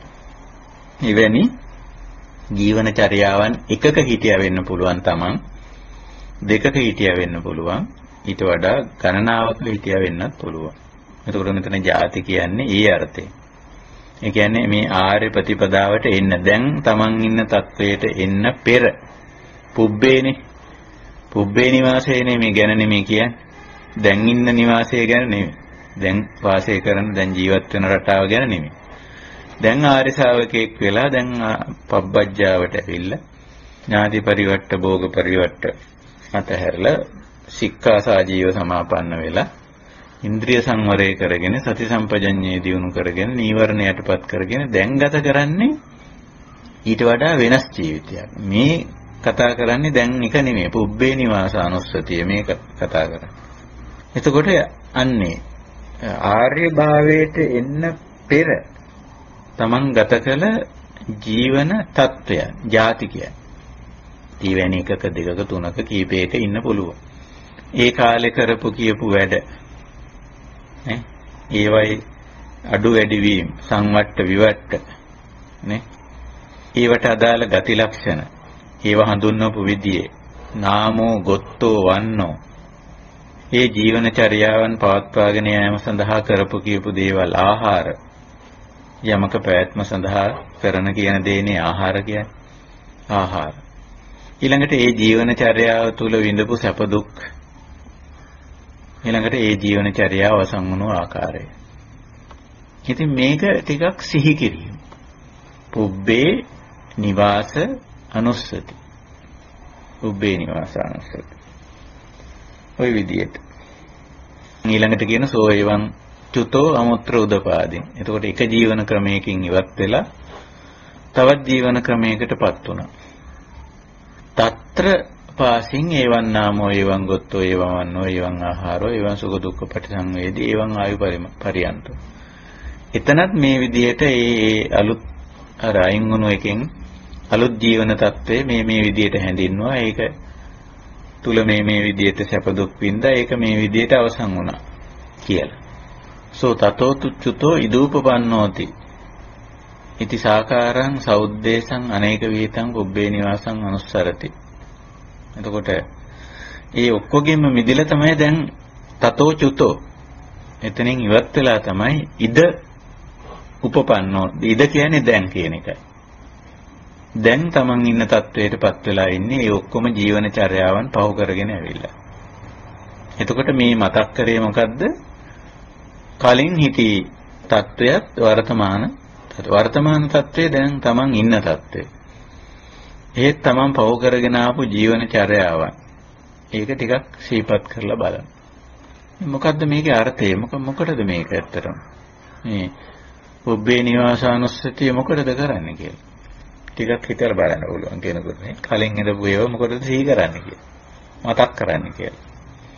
ඒවයි කරපු කියපු දේවල් ඒවා හඳුන්වපු විදි ඒවා පවත්වාගෙන ගිය ආකාරය හ්ම් මොකටද කියලා හිතෙන්න පුළුවන්. මේක කොහොමද නිවනට අදාළ වෙන්නේ කියලා. මේක නිවනට අදාළ වෙන්නේ දැන් ඉන්න එකයි කලින් හිටපු එකේ දෙකේ අතරේ කොච්චර දුරට Taman නිවුණු සැනසුණු පුද්ගලයෙක් බවට පරිවර්තනය වෙලා තියෙනවද? මේ පුබ්බේ නිවාස අනුස්සතිය කිරීමේදී තමයි අපට තේරෙන්නේ කලින් Taman හිටියේ தත්වයයි දැන් ඉන්න தත්වයයි. ඉද උපපන්නෝ. දැන් ඒක තමයි මේ කලින් හිටි தත්වයන්ගෙන් මිදිලා තතෝ චුතෝ. චුත කියන්නේ ඒවෙන් මිදිලා ඒවෙන් ඉවත් වෙලා ඒවෙන් බැහැර වෙලා අයින් වෙලා කියන එකනේ. ඉද උප්පන්නෝ ඉදූප්පන්නෝ දැන් ඉන්න තත්වයටපත් වෙලා ඉන්නේ. එතකොට මේ දෙකේ විමසා බලන්නේ කලින් හිතේ එකේ තිබුණු අයහපත් තත්වයක් දැන් ඉන්න එකේ තියෙන යහපත් තත්ත්වය.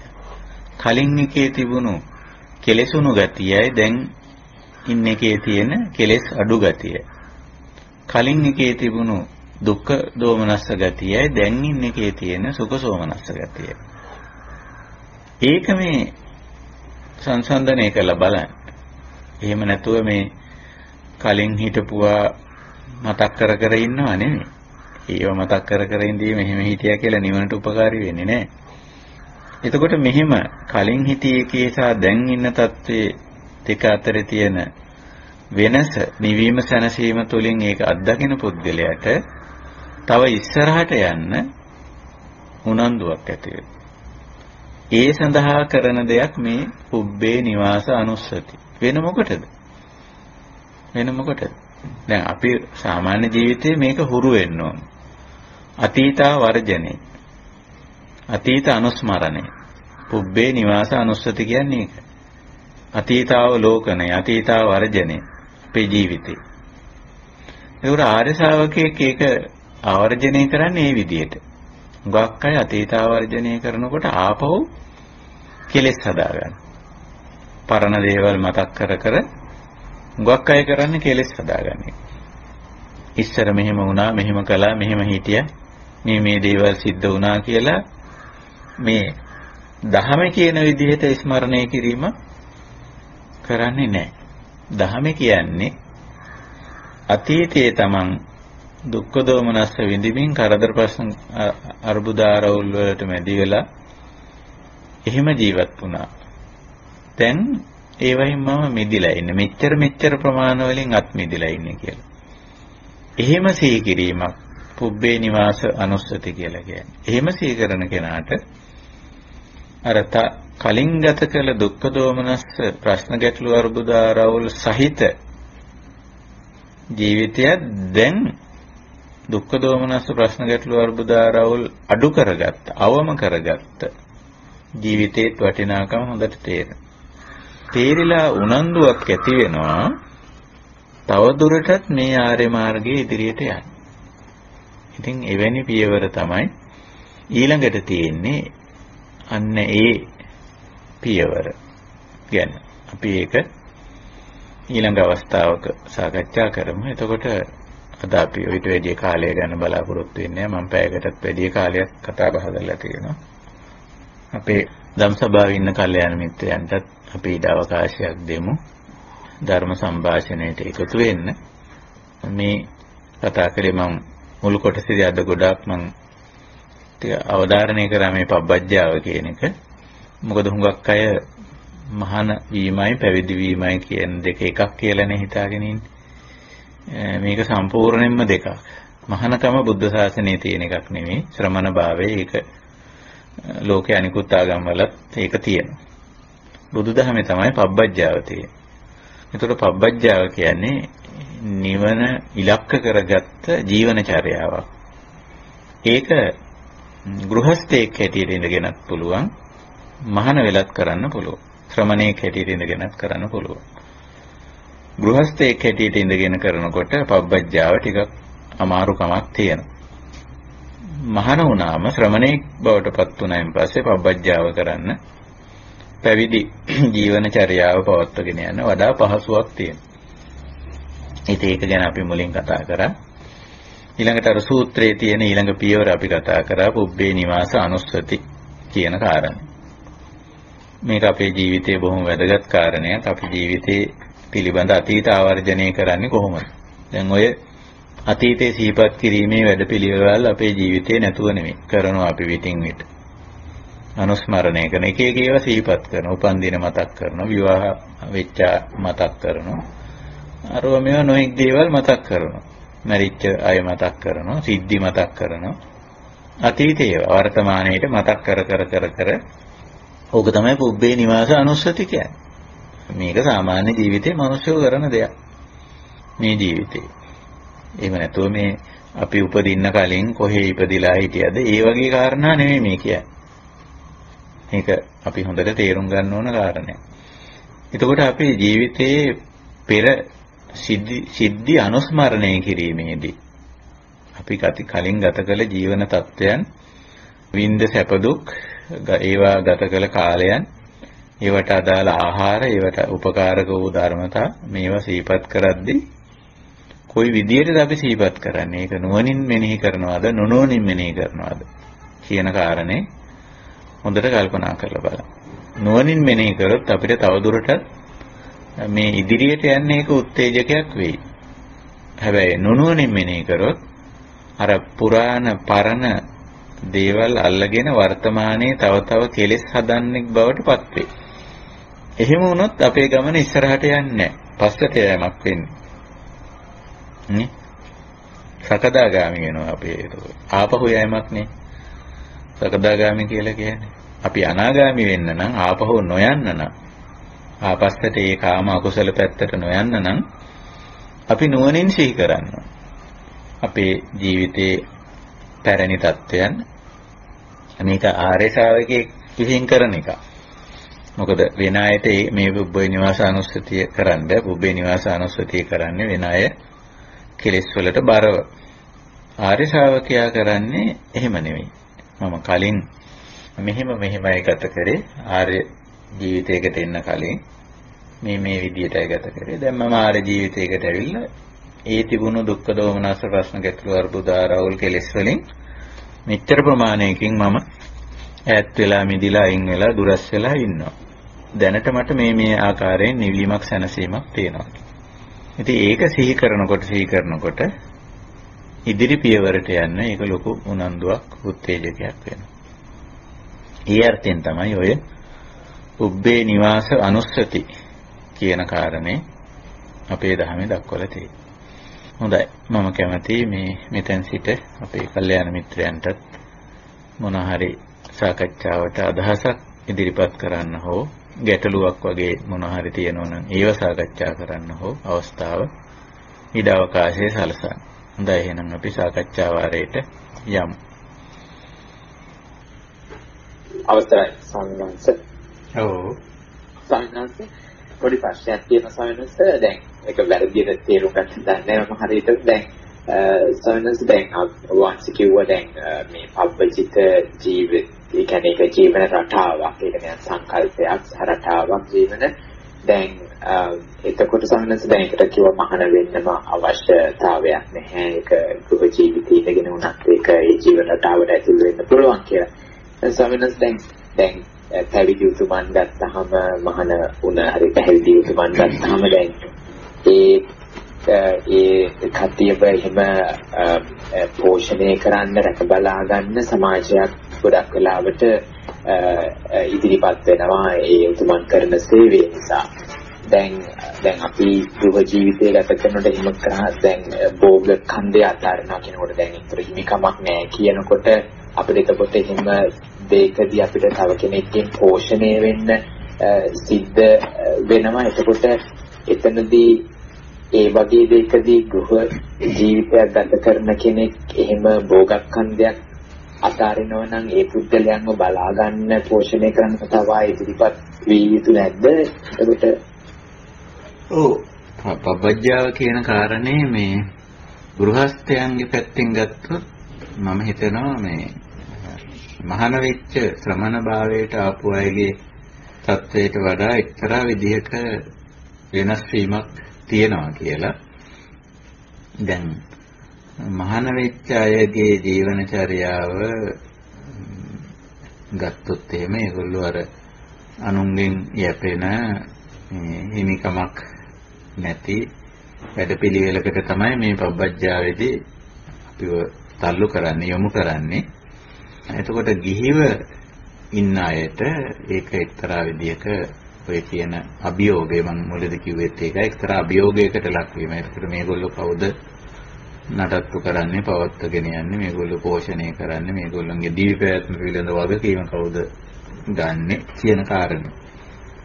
එතකොට මේක අර 100ට 100ක් මහාන වෙච්ච ශ්‍රමණ භාවයටපත් වෙච්ච අයගේ වගේම මේක ගෘහස්තයන්ට කරන්න බැරි වෙන්න පුළුවන්.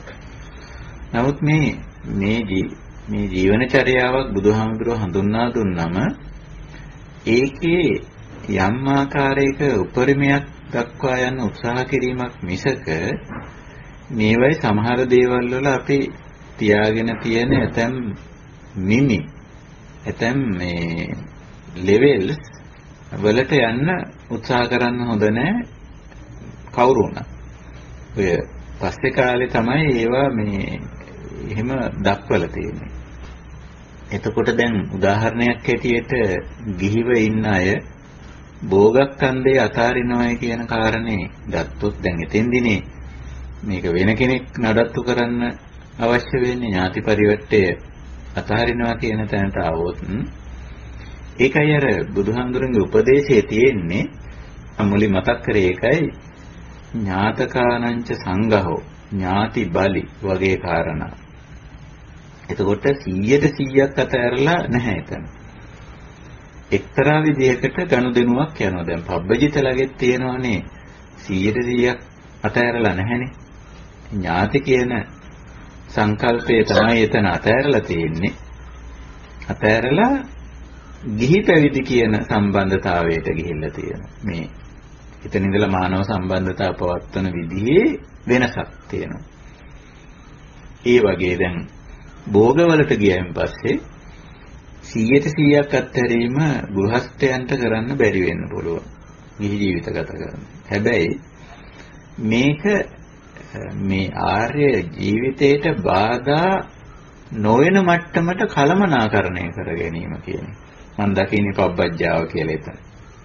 කොහොමද ගෘහස්ථයේ පබ්බජ්ජාවට එන්නේ? පබ්බජ්ජාවට ආපුවම ඒගොල්ලොන්ව රැක බලා ගන්න, ඒගොල්ලෝ නඩත්තු කරන්නේ, පෝෂණය කරන්නේ කොහොමද කියන කාරණේනේ මෙතෙන්දී ඉස්මතු වෙන්නේ. නේ? එහෙමයි. ඔව්. එතකොට අන්න එතෙන් මේක එක්තරා අභියෝගයක්. අභියෝගයක්. එතෙන්දී කලමනාකරණයක්. මේක අර 100ට 100ක් අත්තර දැමීම කියන වගේ කාරණා. අනික 100ට 100 කියන එකත් එක්තරා නිකන් සංකල්පයක්. අපි පවත්වාගෙන යන. මේක අර තමන් යන ආර්ය ප්‍රතිපදාවට බාධා නොවන මට්ටමට මේ භෝගක්ඛන්දේ කලමනාකරණය කර ගැනීම. මෙතනින් අදහස් කරන්නේ. එතකොට තමන්ගේ පැවැත්මට අවශ්‍ය ප්‍රමාණයට මේක තියාගෙන නඩත්තු කරගෙන ආරක්ෂා කරගෙන යනවා. හැබැයි එතනින් එහාට දැන් අර නෙක්කම වගේ ශික්ෂාවලදී අපි මේවා ටිකක් කතා කරලා තියෙනවා. හුඟක් මේ කාම භෝගී ඒ වගේ පැත්තකට යන්නේ නැතුව හුදු ජීවන පැවැත්මට අවශ්‍ය කරන මට්ටමට දේවල් ටික තියාගන්න. අර ටික අතහැරලා දාන්න. දැන් භෝගක්ඛන්දම් පහය කිව්වම අපි එකපාරටම අපේ ඔළුවට එන්නේ 100ට 100ක්ම මේක අතහැරලා දාලා කිසිම හිමිකමක් කිසිම භාරයක් නඩත්තුවක් පවත්වාගෙන යන්නේ නොවි කියන තැනට. එහෙම තැනකටත් එන්න පුළුවන් අර මහාන ජීවිතේට ඇවිල්ලා ඒ වගේ වෙන්න. නමුත් දැන් මෙතන අභියෝගයට ලක් වෙන්නේ ගෘහස්ත ජීවිතය. ගෘහස්ත ජීවිතයේ ඇතුලේ පබ්බජ්ජා කියන ප්‍රතිපදාව කොයි විදියට පවත්වාගෙන යා යුතුද? යා හැකිද කියන එක. ඒක හරි වැදගත්.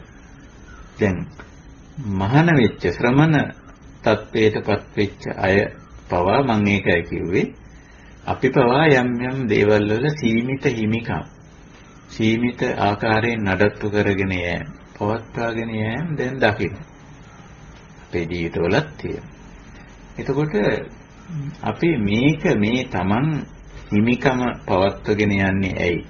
නඩත්තු කරගෙන යන්නේ ඇයි? පවත්වගෙන යන්නේ ඇයි? කියන එක තමන්ම කල්පනා කරලා ඒක නිවනට බාධාවක් නොවන ආකාරයට පවත්වාගෙන යන්න තමන් දක්ෂ වෙන්න. ඒක තමයි පබ්බජ්ජාවේ ලක්ෂණය. එතකොට මේක සංඛ්‍යාවට අනුව මෙතන 100ක් තියෙනවා 100ම අත්හැරලා දාන්න. කියන වගේ අදහසක දෙන්නේ නැතුව මෙතන අපි කතා කරන්නේ ආර්ය ප්‍රතිපදාවනේ අපි මේ ධර්ම සංഭാෂණය ඇතුලේ අපි එලිපෙහෙලි කරගන්නේ ආර්ය ප්‍රතිපදාව.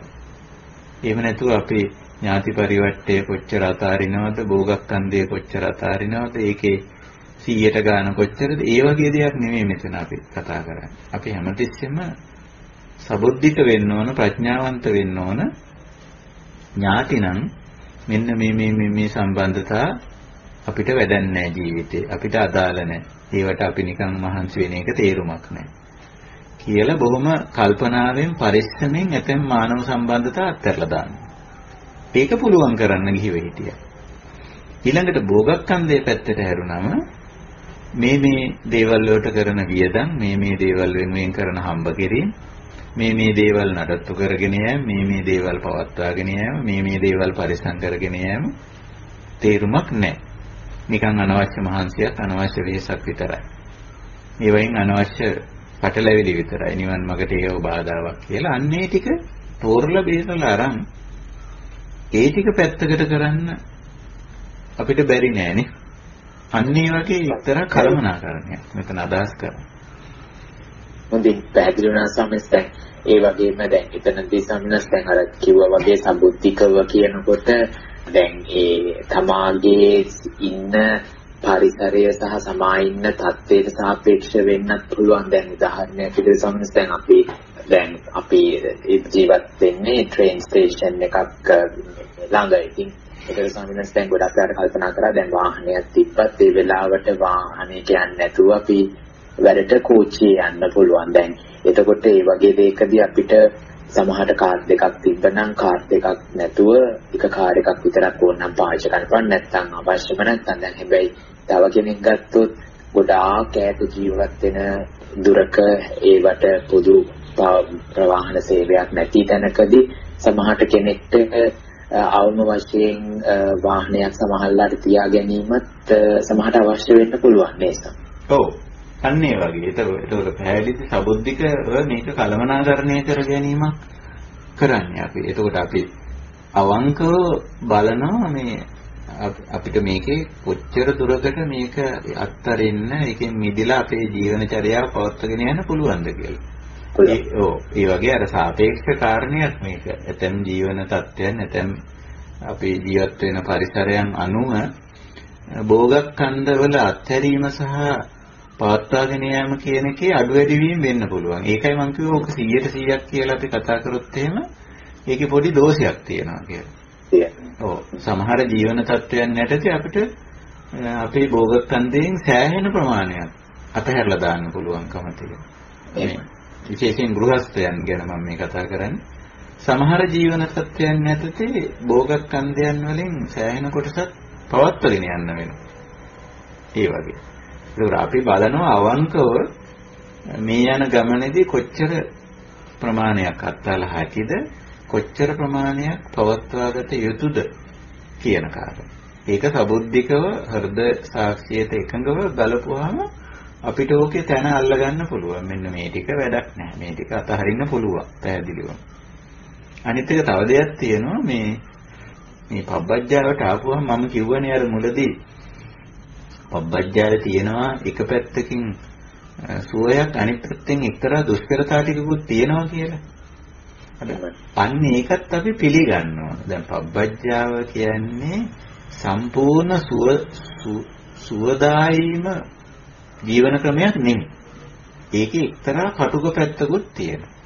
ඒ කටුකත්වය අපි පිළිය අරගෙන බාරගන්නේ නැත්නම් අපිට නිවන පැත්තට යන්න බෑ. ඒකෙන් කියන්නේ අත්තිකිලමතාන යෝගයේ වගේ අන්තයකට යනවා කියන එක නෙමෙයි. අපි ඒ ඒ වැරදි මේකට යන්න හොඳ නැහැ. හැබැයි අපි මේ භෝගක්ඛන්ද සහ ඥාති පරිවර්ත දෙක අත්හරිනකොටත් ඒ වගේම අර පබ්බජ්ජා සීලය අපි කියවනේ එකම ශික්ෂාව කියලා.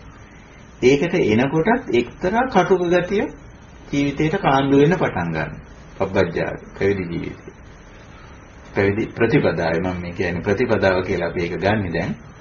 එතකොට ගෘහස්ථයෙක් හැටියට පැවිදි ප්‍රතිපදාව තෝරනකොට අර කටුකත්වයේ ටිකක් ජීවිතේට කාණ්ඩු වෙනවා. දැන් ඔබතුමාම කියපු පුද්ගලික වාහනේ අතහැරලා දාලා පොදු ප්‍රවාහන සේවයේ තෝරගන්න. ඔව්. එතකොට පුද්ගලික වාහනයක් නඩත්තු කිරීම සඳහා Taman දරන වැඩ වෑයම ඒක ඒක වෙනුවෙන් කරන කැපකිරීම ඒ වෙනුවෙන් කරන හම්බ කිරීම ආදී දේවල් ඔක්කොම අතහැරලා දාලා එතන පහසුවක් එනවා. හැබැයි මේ පොදු ප්‍රවාහන සිපේ යනකොට අර පුද්ගලික වාහනේ තරම් පහසුවක් නැහැ. එක හරි. මෙහි දාඩිය දාගෙන මිනිස්සු වස්සේ හිර වෙලා එහෙම යන ගමනක් තියෙන. එතකොට ඒකේ පොඩි කටුකත්වයක් මේකට කාන්දු වෙනවා කියලා කිව්වේ ඒක. ඒකෝට ඒක අපි පිළිගන්න ඕනේ. ඒක බාර ගන්න සූදානම් වෙන්න ඕනේ. පබ්බජ්ජාවේ නිවන් මාගේදී එක්තරා කටුකත්වයක් අපි බාර ගන්න වෙනවා. බාර නොගෙන අපේ ඉලක්කයට යන්න බෑ. ඒකයි තියෙන්නේ. අර බාධා කරන දේවල් ටික අතහරිනකොට ජීවන චර්යාවේ පොඩි කර්කශ ගතියක්, කටුක ගතියක් නැතුව නෙමෙයි තියෙනවා. හැබැයි අපි ඒක විඳින්නේ අත්කිලමතානුയോഗයට යෑමක් නෙමෙයි. නිර්වාණ මාර්ගයේදී අපිට පොඩි දුෂ්කරතා ටිකක් විඳින්න වෙනවා කියන අවබෝධය ඇතුව තමයි අපි මේ මේ දේවල් ටික විඳින්නේ. අන්න ඒකත් මෙතන විශේෂ දෙයක්. අපි නිවන් මඟ තෝරාගත්ත කෙනෙක් සම්පූර්ණ සුඛෝභෝගී ජීවිතයක් එක්ක යන්න ඕනේ කියලා හිතුවොත් එහෙම ඒක කරන්න බෑ. ඒක කරන්න බෑ. ඒ සුඛෝපභෝගීත්වයෙන් සෑහෙන ප්‍රමාණයක් අත්හරින්න ඕන ඔය අපි භෝගක්ඛන්දය ගැන කතා කරන්නේ ඥාති පරිවර්තයේදීත් එහෙම. ඇතැම් පුද්ගල සම්බන්ධතා අත්හැරියම අපිට යම්කිසි දුෂ්කරතාවයක් එනවා එතෙන්. හැබැයි අපි ඒක අතහරින්නේ අත්කිලමතානියෝගයකට යෑමක් හැටියට නෙමෙයි. අර නිවනට බාධා වෙනවා මේ පුද්ගල සම්බන්ධතාවය. ඒක නිසා හරිය පරිස්සමෙන් හරිය සබුද්ධිකව ඒ පුද්ගල සම්බන්ධතාවයේ හිමීට අතහරිනවා. ඥාති පරිවර්තන පහය කිව්වේ ඒකයි. හැබැයි එයා අතහැරියම තවත් පැත්තකින් අපිට සමහර විට දුෂ්කරතාවයක් එන්න පුළුවන්. මොකද මේ පුද්ගලයාගෙන් අපිට යම් ආකාරයක මොනවා හරි වෙනත් ලෞකික පැත්තේ සහයෝගයන් සහායන් තිබුණා වෙන්න පුළුවන්නේ. ඒ ටික අතහැරෙනවනේ. අන්න එතෙන්දි පොඩි දුෂ්කරතාවයක් අපේ ජීවිතේට කාන්දු වෙනවා. හැබැයි අපි ඒක පිළි අරන් තේරුම් අරන් දැනුවත්ව තමයි මේ ගමන යන්නේ. ඒකයි එතන බොහොම සබුද්ධිකව බුදුමා පාවිච්චි කර වචනේ හරි සබුද්ධිකව තමයි මේ කලමනාකරණේ ජීවන චර්යාව අපි වෙනස් කරගන්නේ. එතකොට එක් පැත්තකින් ලොකු සහනයක් පහසුවක් තියෙනවා අනිත් පැත්තෙන් පොඩි කර්කශ කටුක ගති ටිකකුත් ජීවිතේට කාණ්ඩු වෙලා තියෙනවා. ඒ හිම තමයි පබ්බජ්ජාවේ හැටි. එහෙම නැතුව යන්න බෑ මේක. ඒකයි. පැහැදිලි වෙනස් වෙනස් දැන් ඒ වගේ මේ කටුක බව තුළ අපේ කුසලතා වර්ධනයකුත් සිද්ධ වෙනවා ඒ සමගම. ඔව් පැහැදිලිව. ඔව් පැහැදිලිව. දැන් දරා ගැනීම ඒ ඒ කටුකත්වය කියන එක අපි ප්‍රඥාවෙන් තේරුම් අරගෙන ඒකට මුහුණ දෙනකොට අපේ කුසලතාවයන් ටිකක් වර්ධනය වෙනවා. අපි දරා ගැනීමේ හැකියාව, ඉවසා ගැනීමේ හැකියාව තේරුම් ගනිමින් දැන් අපි සමහර වෙලාවට ඔය කිව්ව උදාහරණයේදී අපි යන පොදු ප්‍රවාහන සේවය තුල හිර වෙලා, තද වෙලා, දාඩිය දමාගෙන එහෙම යන. එතකොට ඒක ඇතුලේ අපි යම්කිසි ගැඹුරු තේරුම් ගැනීමකුත් සිද්ධ වෙනවා. මේ තමයි මනුෂ්‍ය ස්වභාවය, මේ තමයි මනුෂ්‍ය චර්යාවන්. මේ හැසිරීම අපි සබුද්ධික නම්, සබුද්ධිකව නම් ඒ තුල යන්නේ අපි යම්කිසි ඥානමය වීමක් ඒක තුල සිද්ධ වෙනවා. අපේ හැඟීම් එක්තරා විදිහකට පාලනය කර ගැනීමක් ඒ තුල සිද්ධ වෙනවා. ඒ වගේම අපි එක්තරා ශික්ෂණයකට පත් වීමකුත් සිද්ධ වෙනවා. මෙන්න මේ වගේ කාරණා ටිකක් ඒ කියන්නේ කුසලමය පැත්තේ දේවල් ටිකකුත් අර කර්කශතාවය තුල දුෂ්කරතාවය තුල වර්ධනය වීමක් සිද්ධ වෙනවා. දැන් මම මේකට පොඩි සරල නිදර්ශනයක් කිව්වොත් අර බුදුරජාණන් වහන්සේට එක වතාවක මේ යම් පුද්ගලයෙක් උදේ කියලා කෙනෙක් වස් සමාදන් වෙන්න එයාගේ ප්‍රදේශය ආරාධනා කළා. ඉතින් කියනවා ගිහිල්ලා වස් සමාදන් වුණා. හැබැයි උදේ ආවේ නැහැ බලන්න මේ වස්තුන් වාසීම බුදුරජාණන් වහන්සේට මොකද වුනේ? කිසිම දෙයක් හොයා බලන්න එයා ආවෙවත් නැහැ. දැන් මේ කාලය තුල එක්තරා දුෂ්කර තත්වයකට බුදුරජාණන් වහන්සේ සහ ඒ වස්තසු පිරිස වැටුණා. යෝජනා කරා සමහර අය අපි ඈත ප්‍රදේශවලට ගිහිල්ලා බින්ද වාසය කරගෙන යමුද? ඇවිල්ලා එහෙම නැත්නම් අපි මෙහෙන් යමුද? ඒ වගේ යෝජනා කරා. නමුත් බුදුරජාණන් වහන්සේ නෑ ඉතින් වස්තුන් මාසයනේ අපි ඔහොම ඉඳිමු. ඒ කාලය තුල ඒ එක්තරා කටුක ජීවිතයක් ගත කරාට එක්තරා කුසලතා ටිකක් ඒක තුලින් වර්ධනය වීමක් තිබුණා. ඒ අදහස සලකලා තමයි බුදුරජාණන් වහන්සේ කටුකත්වයට මුහුණ දෙන්න තමනුත් සූදානම් වුණා අනිත් පිරිසටත් කිව්වා අපි මේ කර්කශ භාවයට පොඩ්ඩක් මොන දෙලා ඉඳිමු. ඒ තුල ඇත්තටම කුසලතා වර්ධනය වීම තියෙනවා. ඊවසා දරා ගැනීමක්, තේරුම් ගැනීමක්. හුඟක් දේවල් ඒ අභ්‍යන්තරයේ සිද්ධ වෙනවා. ඉතින් ඒක ඇත්ත. කර්කශ භාවය ඇතුලේ පොඩ්ඩක් කටුකත්වයේ තුල අපේ කුසලතා ගොඩකුත් වර්ධනය වෙනවා. ඒකයි. ඒක හරි. හොඳින් පැහැදිලි වුණා. තෙරුවන් සරණයි. තෙරුවන් සරණයි. අවස්ථාවන්වස මම මේ පොඩි ප්‍රශ්නයක් අහන්න කියලා කල්පනා කරන්නේ අපි ඔය අද කතා කරා ඔය පුබ්බේනිවාස නුස්තුති ඥානය කියන මේ පරිච්ඡේදයේ සූත්‍රයේ එතන මේ මේ එතන කියවෙන විදිහට ඔය අනේක වේතං පුබ්බේනිවාසං අනුස්සරති සෙය්‍යතිදං කියලා ඒක අපි යාතම් ද්වේති ජාතියෝ එහෙම කියලා ඕම ගිහිල්ලා මේ ජාති සත සහස්සන්ති කියලා ඒ අර අනේක අනේකේපි සංවට්ටකප්පේ අනේකේපි විවට්ටකප්පේ වුම දිගට කියවෙනවා එතන. දැන් මේ අපේ අපිට මේ උපේනිවාසානුස්සතිය කියන එක අපි හැමෝටම ඒ ජීවිතයේ යම් කිසි කොටසක් තුළදී සිද්ධ වෙච්ච දේවල් අපිට සිහි කරන්න පුළුවන්කම තියෙනවා. නමුත් මේ මෙතන කියන මේ පරිච්ඡේදයේ මේ අපි කොහොමද තේරුම් ගන්නේ? මම හිතන්නේ මම මේක මුලදී පැහැදිලි කරා මේ මේ සාකච්ඡාවේ මේක සම්පූර්ණ මේ මම මේක කොටස් වලට බෙදලා පැහැදිලි කරා.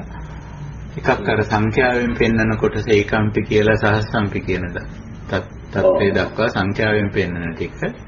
ඊළඟට සංවට්ට විවට්ට කියන දෙක මේ කිසියම් ජීවන චර්යාවක් දිගහැරෙන ආකාරය සහ ඒක හැකිලී යන ආකාරය ඊළඟට ඒ ජීවන චර්යාව පිළිබඳව නාම ගොත්ත වර්ණ ආහාර ඊට අදාළ සුඛ දුක්ඛ පටිසංවේදී ස්වභාවය සහ ඒකේ නිමාව ආයු පරියන්තය කියන කාරණා කොටස් තුනකට වෙන් කරලා මම මේක පැහැදිලි කරා.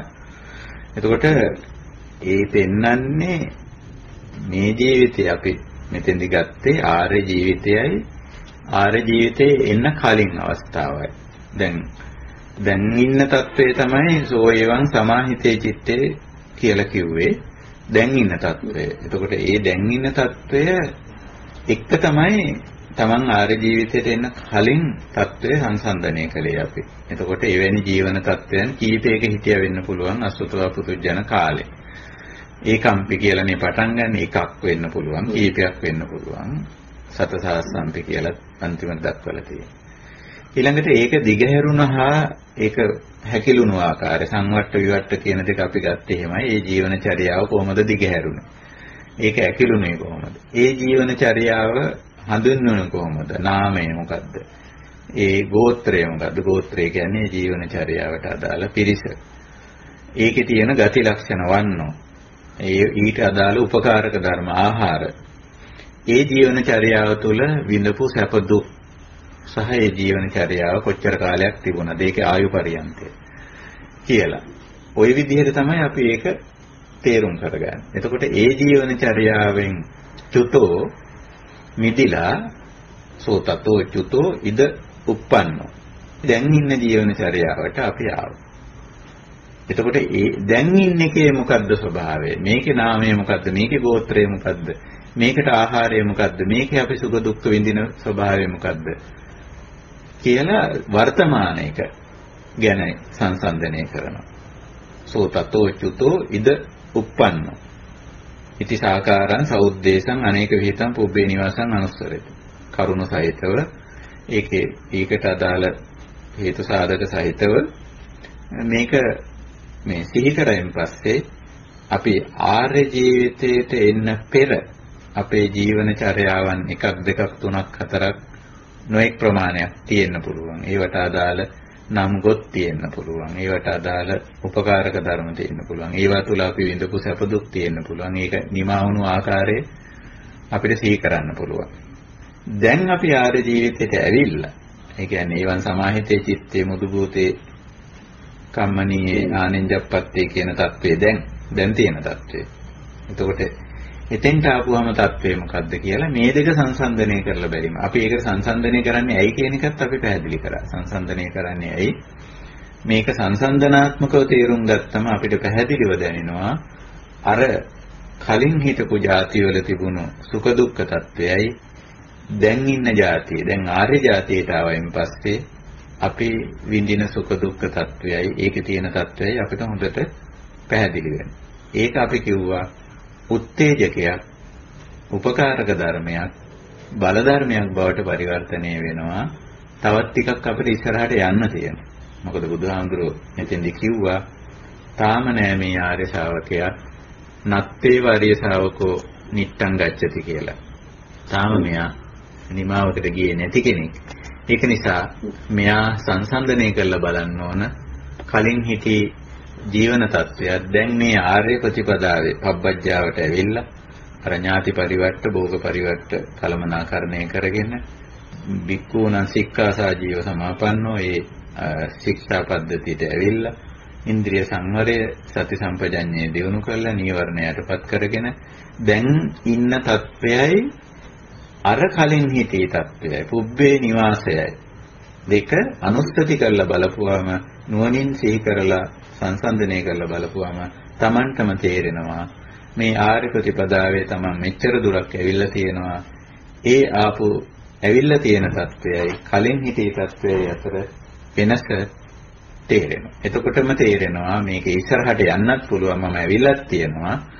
තව ඉදිරියට කොච්චර තියෙනවද කියන එකක් තේරෙනවා. යන්න පුළුවන් කියන එකක් දැනෙනවා. ඒකට උනන්දුවක් එනවා. උත්තේජකයක් විදිහට මම දකින්නේ උබ්බේ නිවාසානුස්සතිය කරා. ඒකම මම කිව්වා මේ සාකච්ඡාවේදීම අපි සමහර දේවල් අපේ ජීවිතයේ පැරණි දේවල් සිහිපත් කරන ක්‍රමය බොහෝ වෙලාවට නුනුවණින් මෙනෙහි කරන්නේ. නුනුවණින් මෙනෙහි කරනකොට පුරාණ ජීවිතයේ සිද්ධි වර්තමානයේ අලුතෙන් කෙලෙස් හැදෙනවා. නිවන පැත්තට තල්ලු වෙනවා නෙමෙයි. සමහර වෙලාවට අපි දුක පැත්තටයි තල්ලු වෙන්නේ. හැබැයි බුදුහාමුදුරුවෝ මෙතන අපිට කියන්නේ පුබ්බේ නිවාස අනුස්සතිය කරනකොට කලින් ජීවිතය සිහි කරනකොට නුවණින් මෙනෙහි කරන්න කියලා. මේ අනුස්සති කියන වචනේ හුඟක් වෙලාවට යෙදෙන්නේ නුවණින් මෙනෙහි කිරීම කියන අර්ථයෙන්. එහෙම මෙනෙහි කරපුවාම වර්තමාන ජීවිතයේ කොච්චර නිවීමක් කොච්චර සැනසීමක් කොච්චර ආත්මිදීමක් කොච්චර ගැලවීමක් කොච්චර විමුක්තියක් ලබලා තියෙනවද කියලා අපිටම ප්‍රත්‍යක්ෂ වෙනවා. එතකොට අපිට තේරෙනවා හරි. තව ඉස්සරහට යන්න පුළුවන්. මේකේ තව මිදෙන්න ගැලවෙන්න විමුක්තිය ලබන්න පුළුවන් කියන එකට උත්තේජනයක් අපේ අභ්‍යන්තරයෙන්ම එනවා. ඒක තමයි මේ පුබ්බේ නිවාසානුස්සතියෙන් අපි කරන්නේ. එහෙම නැතුව අපි මේක තෝරන්නේ නැහැ. මම නම් තෝරන්නේ නැහැ මේක. අපි මෙහි උපදින්න කලින් මේ මෙහි උපදින්න කලින් හිටපු ජීවිතයි මේ සිහි කරන්න කියලා එහෙම අර්ථකථනය කිරීමක් මම මේ පුබ්බේ නිවාසානුස්සතියට දෙන්නේ නැහැ. එහෙම දුන්නොත් ඒක වැඩක් නැහැ. ඒක කරන්නත් බෑ. ඒක මිනිස්සුයෙකුට කරන්නත් බැරි දෙයක්.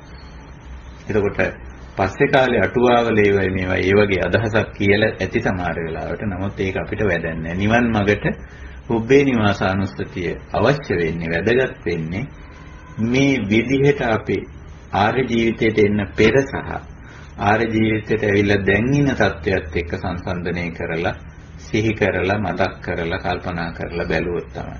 ඒක අපිට ලොකු උත්තේජකයක් වෙනවා. ඒ අර්ථයෙන් තමයි අපි පුබ්බේ නිවාස අනුස්සති කියන මේ ක්‍රියාව කරන්නේ. ඒක තමයි අපි මේකෙදි මතු කර කාරණේ. මම මේ විශේෂයෙන් අවිසාන වගේ මෙතන මේ සංවට්ට කප්පේ විවට්ට කප්පේ කියලා කප්පේ කියලා වචනේ කප්ප කියන වචනේ මම මෙතෙන්දි තේරුවා ඒ කියන්නේ යම්කිසි ජීවන චර්යාවකට උරුම කාල ඡේදය කප්ප කියන්නේ. එතකොට ඕ ඒක දිගහැරෙනවා. ඒ කියන්නේ අපි හිතමු අසුතවා පුතුජන කාලේ යම්කිසි පුද්ගලයෙක් මම මේක අකුසල වැරදි ජීවන චර්යාව කියලායි මම මෙතෙන්දි කිව්වේ. වැරදි කිව්වේ හැබැයි ලෝක සම්මතයට අනුව නෙමෙයි. ලෝක සම්මතයට අනුව හරි වෙන්න පුළුවන්. නිවනට සාපේක්ෂව වැරදි ජීවන චර්යාවකට පුද්ගලයෙක්පත් වෙලා හිටියනම් ඒක දිගහැරුණේ කොහොමද? කොයි විදියටද? විවට්ට. ඒක ඇකිලුනේ කොහොමද? ඒක ක්‍රමයෙන් අඩු වෙලා ගියේ කොහොමද? සංවට්ට. නේ? ඒ විදිහටයි අපි මේක අර්ථකථනය කරගන්නේ. ඒ ජීවන චර්යාව කොහොමද දිග්ගැහුනේ? කොහොමද ඒක කොට වුනේ? සංවට්ට කප්ප. ඒ ඒ කාලය කොහොමද දික්ුනේ? මම මෙච්චර කාලයක් මේ වගේ අයහපත් ජීවනචර්යාවක හිටියේ ඇයි? ඒක ඒක දිග්ගැහුනේ කොහොමද? මේ විවට්ටනේ. කොට වුණා නම් ඒක ඉක්මනින් කොට වුණේ කොහොමද? සංවට්ට. කප්පේ කියන්නේ ජීවන කාලයනේ ඕනම දෙයක. ඒකට අදාළ ජීවන කාලය. කප්ප කියන්නේ. එතකොට ඒක සංවට්ට උනේ කොහොමද? විවට්ට උනේ කොහොමද? ඒක අපිට නුවරින් මෙනෙහි කරන්න පුළුවන්. එතෙන්දී අපිට හේතු සාධක පේනවා. මේ වැරදි ජීවනචර්යාව මෙච්චර කාලයක් දිග්ගැහුනේ. විවට්ට උනේ. මේ මේ හේතු නිසා. ඒක සංවට්ට උනේ. ඒක ඇකිලුනේ. ඒක ක්‍රමයෙන් අඩු වෙලා ගියේ මේ මේ හේතු නිසා කියලා. ඒකයි සංවට්ට කප්ප විවට්ට කප්ප කියන එකකින් අපි අර්ථකථනය කරගන්නේ. හ්ම්. ඒක සම්මත. තෙරුවන් සරණයි. හොඳයි අපි එහෙමනම් අදට අපේ අනිවෙන මග සූත්‍ර ධර්ම සාකච්ඡාව අවසන් කරමු. ඉතින් අදත් අපි චූල පත්ති පද උපමා සූත්‍රය තමයි මූලික කරගත්තේ. වැඩිපුර අපි මේ පබ්බජ්ජාව ගැන කතා කරා මුලදී. ඒක ගෘහස්ත වුණත් මහාන වුණත් පබ්බජ්ජාව කියන එක නිවනට උපකාර වන ජීවන චර්යාවක් විදිහටයි අපි හඳුනාගෙන තියෙන්නේ. ඒක ගෘහස්ථයෝ හැටියට හිටියත් ශ්‍රමණයෝ හැටියට හිටියත් මහාන වෙච්චය හැටියට හිටියත් මේක තුල ආයුතුයි අපි නිර්වාණය සාක්ෂාත් කරන්න. ඒ කාරණේ අපි ටිකක් කතා කළා. ඊළඟට සූත්‍රයට ඇවිල්ලා අපි කතා කළා පුබ්බේ නිවාස අනුස්සති කියන කාරණේ. ඒක කොහොමද නිවනට උපකාරී වෙන්නේ කියන කාරණේ. ඉතින් ඔය කාරණා දෙක තමයි කතා කළේ. ඒ වගේම අපේ කල්යාණ මිත්‍රෝ සාකච්ඡාවට එකතු වුණා, සම්බන්ධ වුණා. ඒකෙන් අපේ සාකච්ඡාව තවත් අර්ථවත් වුණා. ඉතින් එහෙමනම් අපේ ධම්සභාව මෙතකින් හිමා කරමු. අපි සෑහෙන කාලයක් ගත කරලා තියෙන හෝරා දෙකක් විතර ගත කරලා තියෙනවා. ඉතින් මම හිතනවා මේ සංഭാෂණ මේ සාකච්ඡා කාලේ අපත ඇවීමක් වෙන්නේ නැහැ කියලා. මොකද අපි මේ ප්‍රඥා ශික්ෂාව වර්ධනය කරන්නේ මේ පඤ්ඤා භාවනාවයි අපි කරන්නේ. නිවන් මඟ හොඳින් එලිපෙහෙලි කර ගැනීම අපි මේ තූලහත්තිපදෝපම සූත්‍රයේ මෙච්චර දිගට දිගට සාකච්ඡා කරන්න හේතුවත් ඒක සූත්‍රයත් අපි ළඟින් තියාගෙන නිවන් මඟ තමයි මේ එලිපෙහෙලි කරගන්නේ.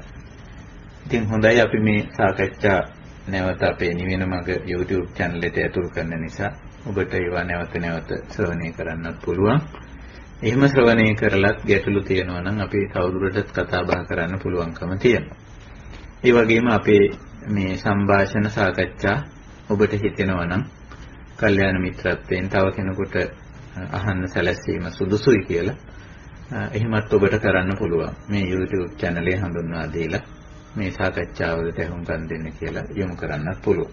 ඉතින් ඒ කාරණේත් මතක් කරමින් අද එහෙනම් අපි මේ ධර්ම සංවාසනේ සමුගන්නවා වෙනදා වගේම දුරින් ඉඳන් ළඟ ඉඳන් පෙනී නොපෙනී ඉඳගෙන මේ උතුම් කාර්යයට සම්බන්ධ වුණු අපේ කල්යාණ මිත්‍ර හැම දෙනාටම අපේ මේ ධර්ම සංഭാෂණයේ ප්‍රඥා පාරමිතාවක් වේවා. ප්‍රඥා ශික්ෂාවක් බවටපත් වේවා. ඒකම නිර්වාණ ධර්මය සාක්ෂාත් කරගන්න. උපකාරක ධර්මයක් උපනිශ්‍රේ ධර්මයක් බවටපත් වේවා කියන උතුම් අදහසින් අපි සදාම් හමුව නිමා කරනවා. හැම දිනාටම තෙරුවන් සරණයි.